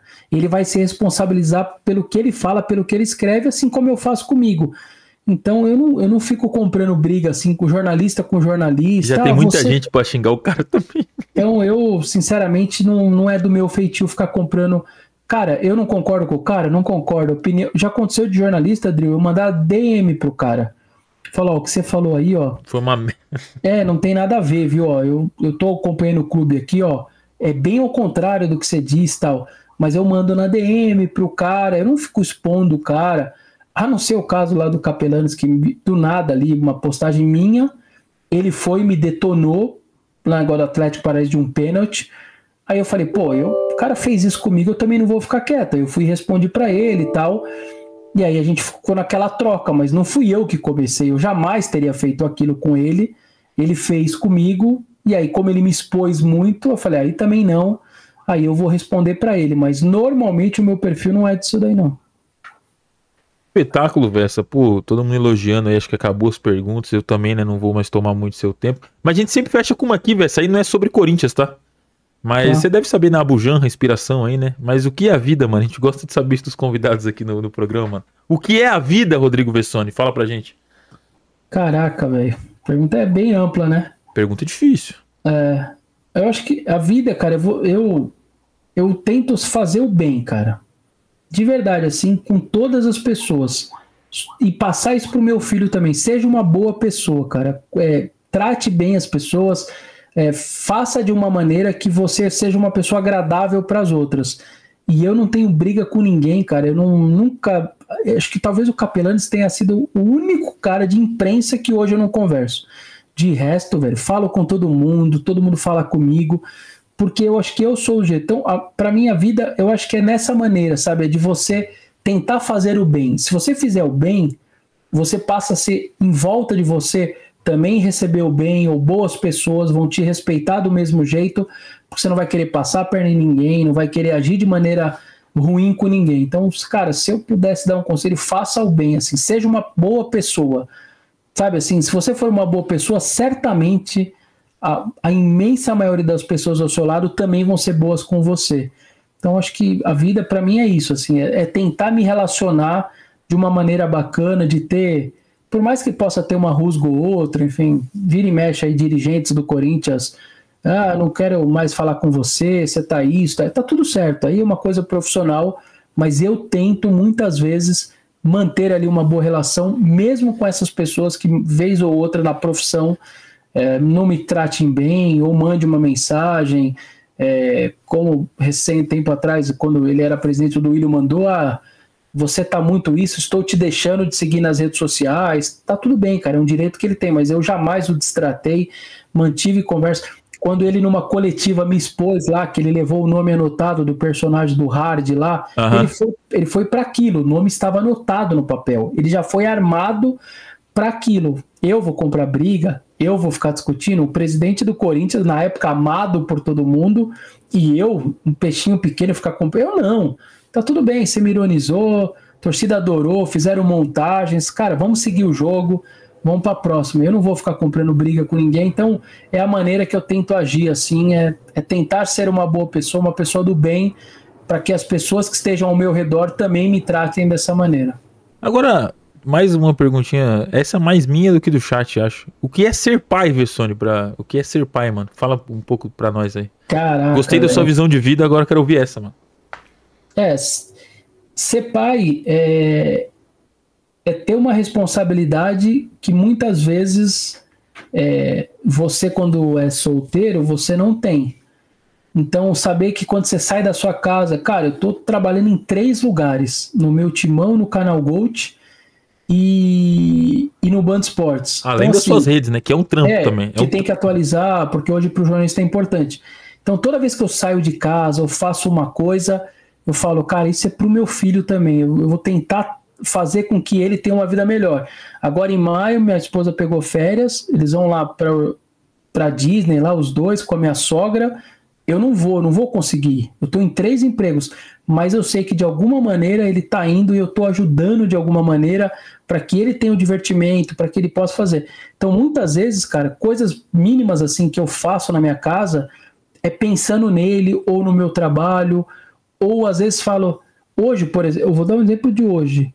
Eu saí do Band Esporte, fui no, no médico pegar uma guia lá, não sei o quê, e olhei no relógio e falei, cara, dá para pegar ele na escola. Vai estar tá trânsito, mas se eu sair, fizer o caminho no Waze e tal, eu poderia muito bem ir para casa. E aí minha sogra ia pegar, Falei, não, vai dar, ele vai ficar feliz, cara. E eu dei um jeito de buscar. É uma coisa besta, uma coisa simples, mas ter o filho, eu acho que é, de, de, é ficar o tempo inteiro raciocinando o que, que você pode fazer para que ele esteja mais feliz, ou ele esteja bem, ou ele esteja é, sem problemas, ou, ou com menos dificuldade. É o tempo inteiro, é 24 horas raciocinando ou de ter um trabalho para ter uma condição melhor, para comprar alguma coisa para ele, para facilitar a vida dele, para chamar, para ir de carro para ele no lugar, ao invés de, de Uber ou de ônibus, enfim. É esse tipo de coisa. É, é no mínimo detalhe, é ficar 24 horas tentando raciocinar alguma coisa pelo bem dele, sabe? Espetacular, Vessone, espetacular. Porra, tá maluco. Muito, muito, muito bonita aí. O chat gostou bastante. Eu também, né, que estou começando nessa carreira aí, nessa é. carreira maravilhosa. E de fato é 24 horas por dia. É, então, pô, agradecer demais, Vessone, sua participação aí. Na verdade, tem a última pergunta que eu esqueci, né? Que é o que é o Corinthians para fechar. E aí eu te dou agradecimento e boa noite aí. Você já falou lindamente de vida, de filho, e agora, pô, o Corinthians que é quase. Porra. Cara, é. Aliás, você falou do. Eu tava esquecendo. Cara, levar o Lorenzo na Neoquímica Arena, tá ali do lado dele, velho, é um negócio. Eu tô esperando. Quantos anos você acha que é ideal para ele, assim, pra ele entender a experiência? É, isso, isso que você tá falando é, é Porque eu tô pensando, tipo, pô, vou viajar, chegar lá e não vai gostar de ficar, eu não sei o que fazer, tá ligado? Não tem como sair do estádio, né? É, eu fui levando ele bem, tipo, dois anos, fui num treino aberto, aí é. o barulho, o barulho irritava ele, ele começou a chorar, aí eu ia para dentro. Mas hoje, puta, quando saiu, eu tava contra o Santo André, pedi folga, né, pra levar ele. Cara, quando saiu o terceiro gol, o jeito que ele pulou, que ele gritou, no Corinthians e Botafogo, lembra um a 0 gol do Mosquito? Uhum. Cara, quando o estádio apagou a luz, cara, fez aquela entrada do time, cara, ele começou a chorar. Eu falava, meu Deus, cara, aquilo foi para mim, eu vivi, aquilo eu ganhei minha vida, tá ligado? O meu filho caindo lágrima porque a festa da entrada do time, por isso que é tão importante viver a Neoquímica Arena, aquele ambiente, você leva um filho, leva uma criança, aquilo é inesquecível, aquilo, até hoje ele fala disso, cara.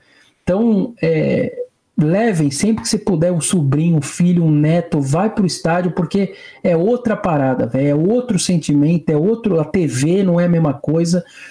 E, cara, o Corinthians para mim é sei lá, você vê, ó, com dois, três anos de mascote, então é, é aquela coisa que ela é parte da sua vida. E quando eu falo parte integrante da sua vida, é quando, por exemplo, você marca o seu casamento olhando na tabela do campeonato para não casar no dia uhum. que tiver jogo.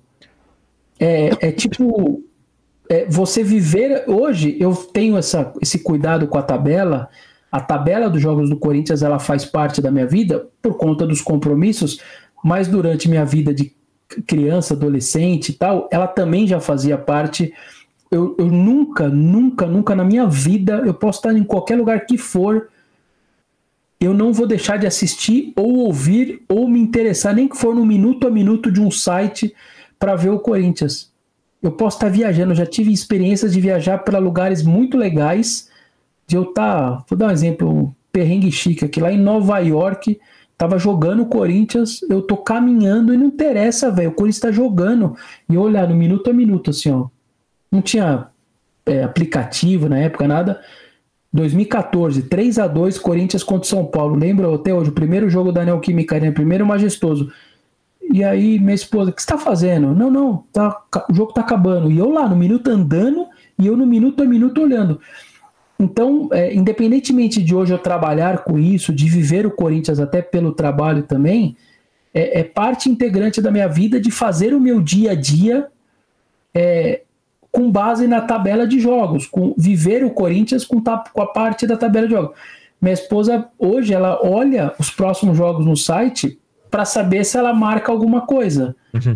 Senão não, ela sabe que eu não vou, eu não tenho condição de ir, mas é pelo trabalho. Mas antes não era só, antes também era pela paixão pelo clube, por querer saber do Corinthians. E repito, pode jogar o, o Cássio, o Júlio César, o, o, o, o Dida, não interessa, cara. Era assim quando o Ronaldo jogava e agora com o Cássio é com o próximo, porque o Corinthians está acima de tudo. Então acho que o Corinthians para mim é isso, é parte integrante da minha vida. Como é minha esposa, como é meu filho, como é meus pais, ele faz parte. É, é algo que é, ele vai estar tá no meu dia a dia, independentemente de onde eu estiver, com quem eu estiver, como eu estiver, eu vou estar tá acompanhando e, e vendo tudo que está acontecendo com o clube muitas vezes é o que você fala, às vezes, puta, eu não queria ser tão fanático tal. Às vezes eu, eu me pego assim, cara, será que era pra estar tá gostando tanto? Você tá com uma raiva, sobe seu sangue, ou você deixa de fazer alguma coisa por causa do jogo e fala, puta, que arrep...